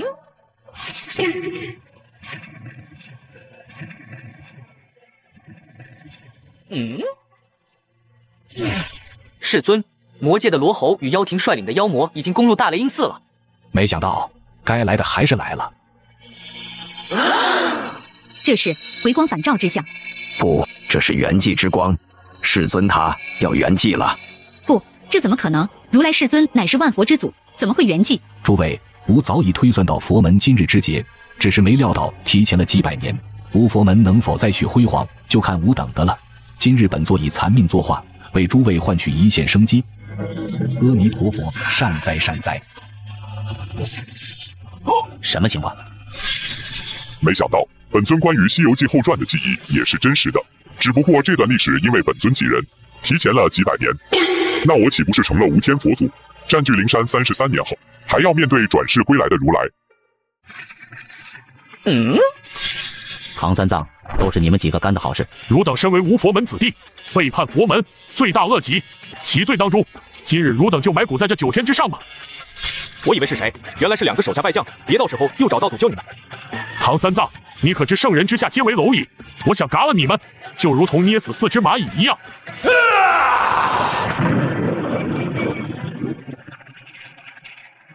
区区蝼蚁也妄想逆天，真是蚍蜉撼树，不自量力！唐三藏，汝等可知罪？西游乃是道祖所定，本座奉劝汝等莫要执迷不悟，只要汝等束手就擒，本座可网开一面。师兄，还跟他们几个废什么话？唐三藏，本座念你天赋俱佳，愿不计汝之罪过，收汝为亲传弟子，日后可为佛门之祖。但你要即刻返回灵山，将那一摊烂摊子给我收拾好，如何？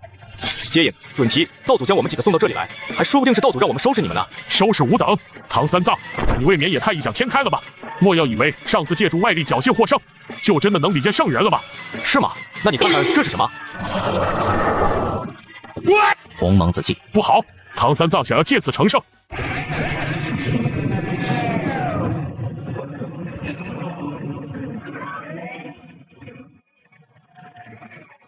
孙悟，你怎么也成圣了？刚刚道族把我们带到九天之上时，就解开了我体内的血脉封印了。好，一起陪那两个贷款圣人玩一玩吧。一起出手。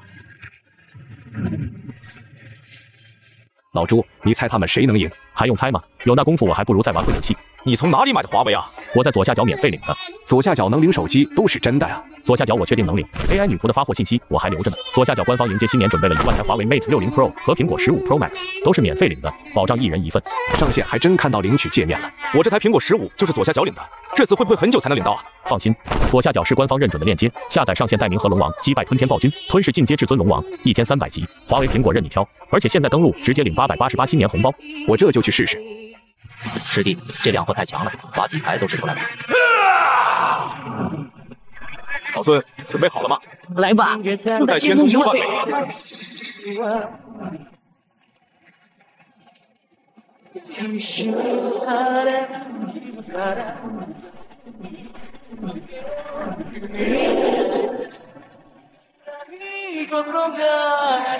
汝等住手吧！道祖，唐三藏，此事到此结束，你们都到我紫霄宫来。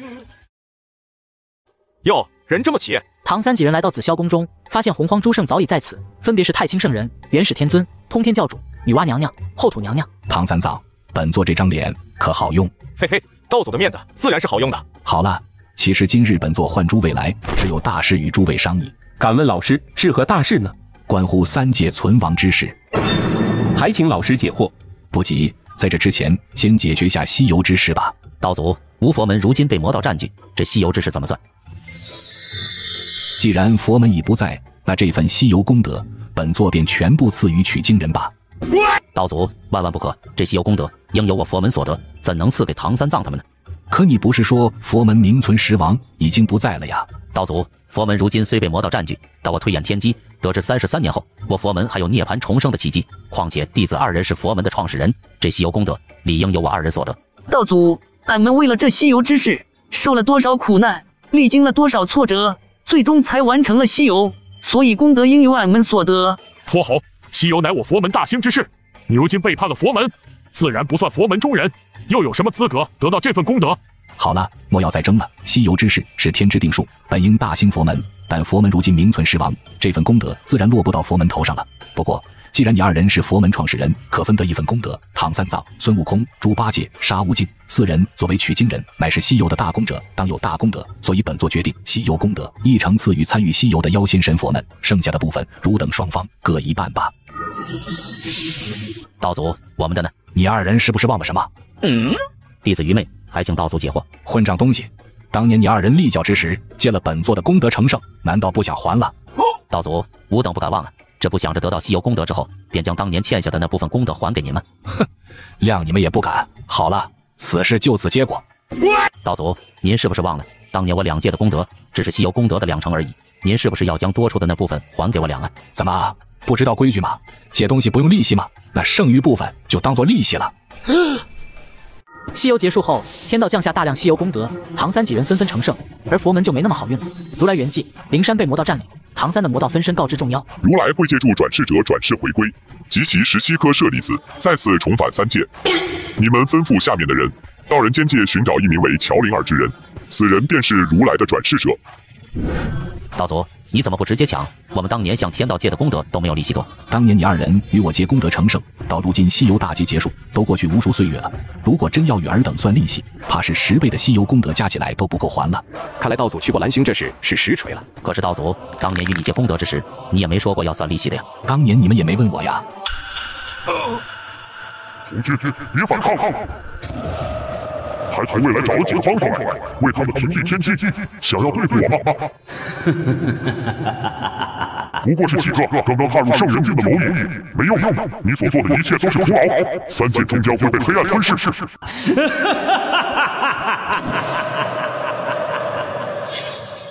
老师，你没事吧？我时间不多了，长话短说吧。之后三界存亡之事就拜托大家了。道祖，刚刚那事是天道的邪念所化。此事还要追溯到洪荒天地的第一次大劫，当时的龙凤麒麟三族纷争不断，加上罗侯的肆意挑拨，三族开始相互争斗，洪荒世界遭到严重破坏，生灵十不存一，天地间汇集了大量的怨气。后来我击败罗侯，平息了这场浩劫，并参透造化玉蝶内所蕴含的大道玄机，以身合道，成为了洪荒第一位天道圣人。那时候我就发现了天道邪念的存在。红军，区区在天道之下当一个代言人有什么意思？接受我的力量吧，我们一起成为这个洪荒世界的主宰。你休想！自此之后，他几乎无处不在，并且通过不断吸收三界的邪念，助长自己的力量。经过了巫妖大战、封神之战两次天地大劫之后，他的力量也愈发强大。如今，我的元神已经几乎被他侵蚀，他想利用我，将三界变成一片炼狱。诸位一定要想办法阻止他，保住三界众生。道祖，我们现在应该怎么做？你们先各自离去吧。如果还有什么心愿未了，就尽快去完成吧。届时这场三界浩劫降临，谁也预料不到会发生什么，少则十年，多则二十年。我只能为大家争取这么多时间了。可是道祖，小三，记住了，下次再见面，我已经不再是原来的我。君鸿叔叔。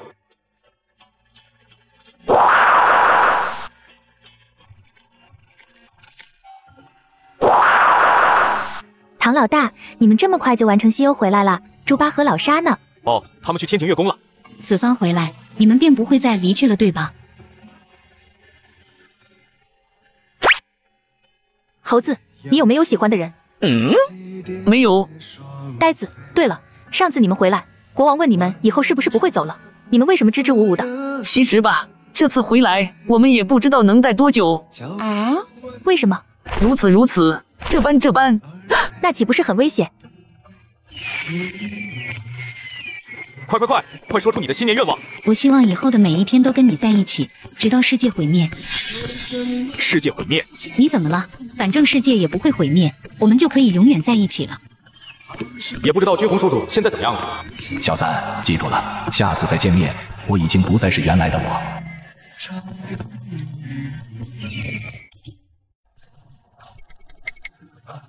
你到底是何人？为何一路追我们到此处？你就是乔灵儿，正是在下。很好，与我们一同去一趟西天灵山吧。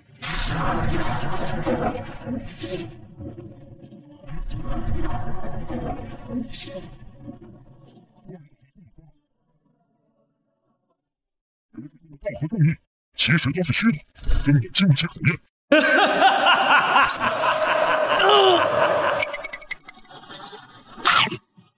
三界生灵真是太美味了。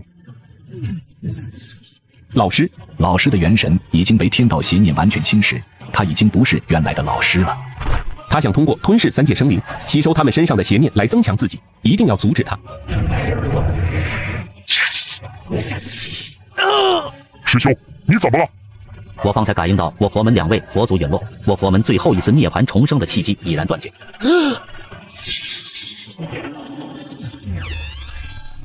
不自量力！天罡三十六变，我玄造化。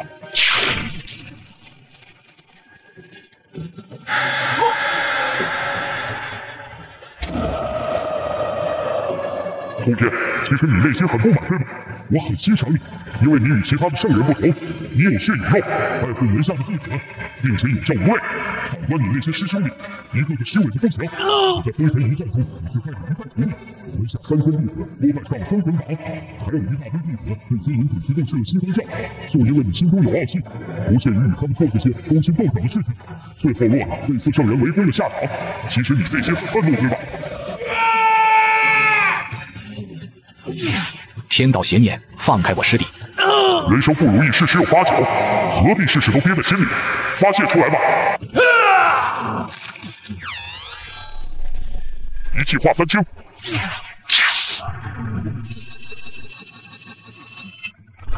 你在干嘛？我查查天道有没有什么弱点，不要盲目去送人头。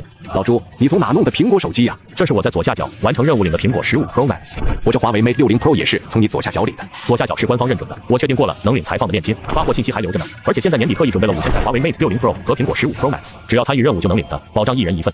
我上线还真看到领取界面了。对啊，下载的人都领到了，你到时候去养龙寺，吞噬龙魂进阶大金烛龙，挂机升级手机轻松领。之前在左下角没领到，你这次可得好好把把关。放心，活动给平台报备过，只要是点我左下角专属链接下载的，首充一元就送绝版红物，再搭配免费的鲲鹏坐骑和满街是天玄宫秒掉 BOSS，直接霸榜第一。华为、苹果任你挑，而且现在上线还有八百八十八新年红包，我这就领红包和苹果去。就剩你们几个，你们就是红军从未来世界找来的帮手，看起来也不怎么样吧？孙乌要上了，刺在天宫一万倍，开！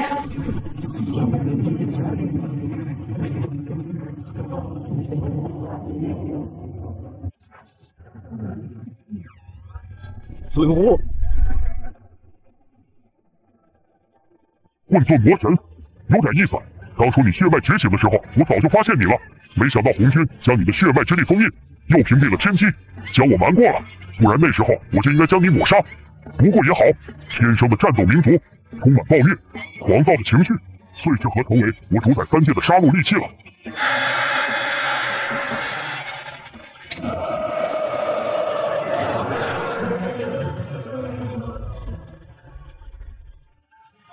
去战斗吧！你生来就是为了战斗而存在的，这三界都是你的战场，去摧毁你眼前所有的一切吧！老唐，快去帮孙乌！天道邪念在唤醒他血脉中的战斗本能，他要把孙乌变成没有感情的战争机器，为他征战三界。红军，你看到了吗？你所做的一切都是徒劳的。我早就跟你说了，人世间的道和正义其实都是虚的。根本经不起考验，你所留下来的人都已经互相打起来了，就剩这个奄奄一息的家伙，你不是对他寄予厚望吗？我现在就毁掉你最后一丝希望。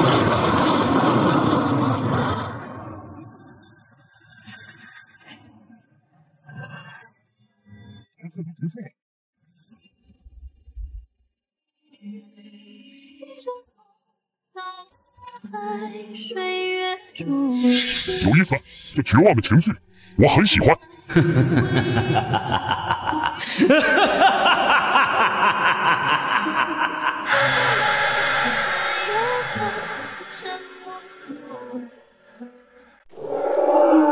老孙，快醒醒啊！不要啊！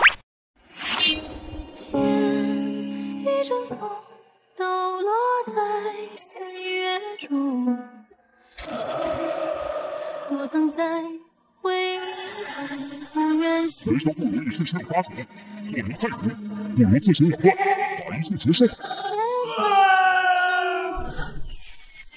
我们女儿国的烟花怎么样？不比你们大唐差吧？在我们大唐，新年对着烟花许愿，来年一定可以实现哦！快快快，快说出你的新年愿望！哇哦，我的愿望是以后的每一天都跟你在一起，直到世界毁灭。世界毁灭？如果真有一天这个世界会毁？差点忘了，你已经不在了。又是我的幻觉吗？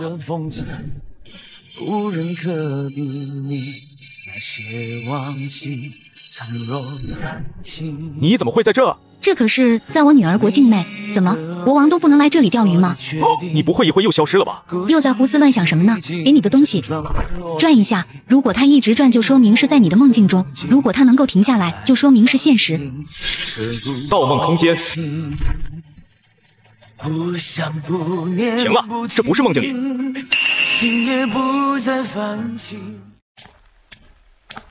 嗯。你们在看什么？我和老朱看美女呢，你看这俩咋样？你在哪里认识这么多美女？这都是老朱介绍给我的。老唐，这你就不知道了吧？就这个新域上面多的是漂亮小姐姐，都是咱附近奔着真心脱单来的单身美女，温柔体贴、大方懂事的多的是。照片资料随便看，喜欢哪个不用加好友，也不用花一分钱钱，直接就能聊天。老朱，要说看美女，这还得是你专业，这咋跟他们聊啊？你左下角下一个去，想跟谁聊就跟谁聊，有相中的还能语音视频，关键这些女孩还有热情又主动，这一会儿就这么多跟你打招呼的，回都回不过来。像你这么英明神武，那那新域上面喜欢你的女孩子得老多了。那行，我赶紧下个看看。老唐，你愣着在这干嘛？你又不需要，人家女儿国国王在那边等你呢。嗯，刚刚才从那边走过来，这一定又是我的幻觉吧？你愣着干嘛呢？你这是……如果他一直转的话，说明现在根本不是现实世界，眼前的一切不过是我活在自己的梦境中。所以你决定要走出去了吗？我知道我已经失去你了。如果我继续沉浸在自己的梦境中，我可能还会失去最好的兄弟。来人勿忘同根，翻山越岭寻一个你。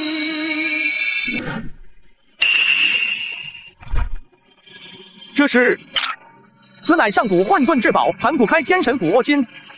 可我好像拿不动啊！就你现在的力量，掌控不了盘古斧，再正常不过了。那怎么办？丁，请宿主做出选择，是否消耗所有悍匪积分，获得盘古力之法则？来吧。什么情况？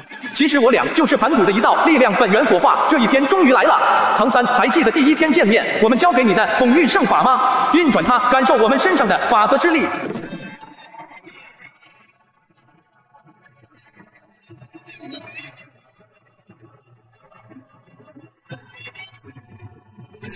不好，这气息是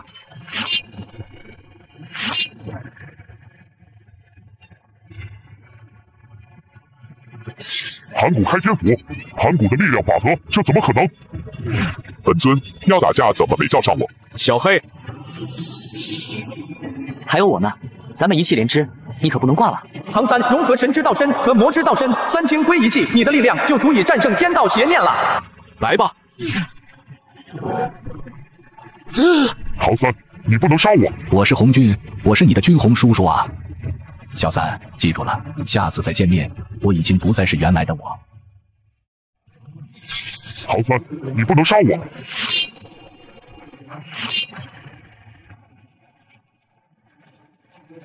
唐三，就算你现在杀了我又如何？这三界生灵会会源源不断的给我力量，用不了多久，我还会回来的。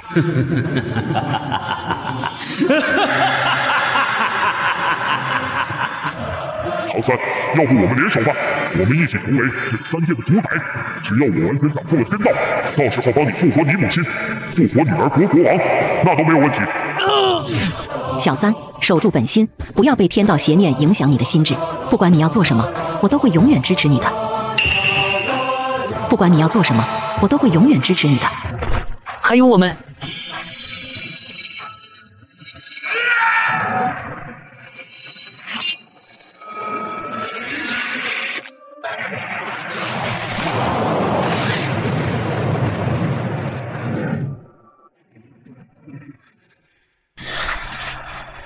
嗯，我们回来了。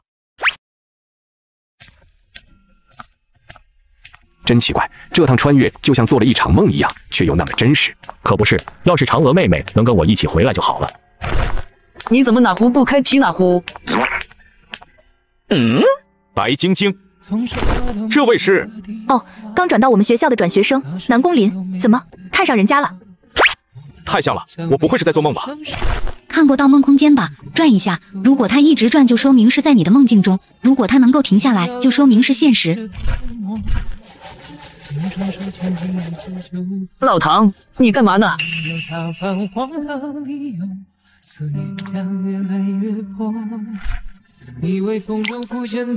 不管你要做什么，我都会永远支持你的。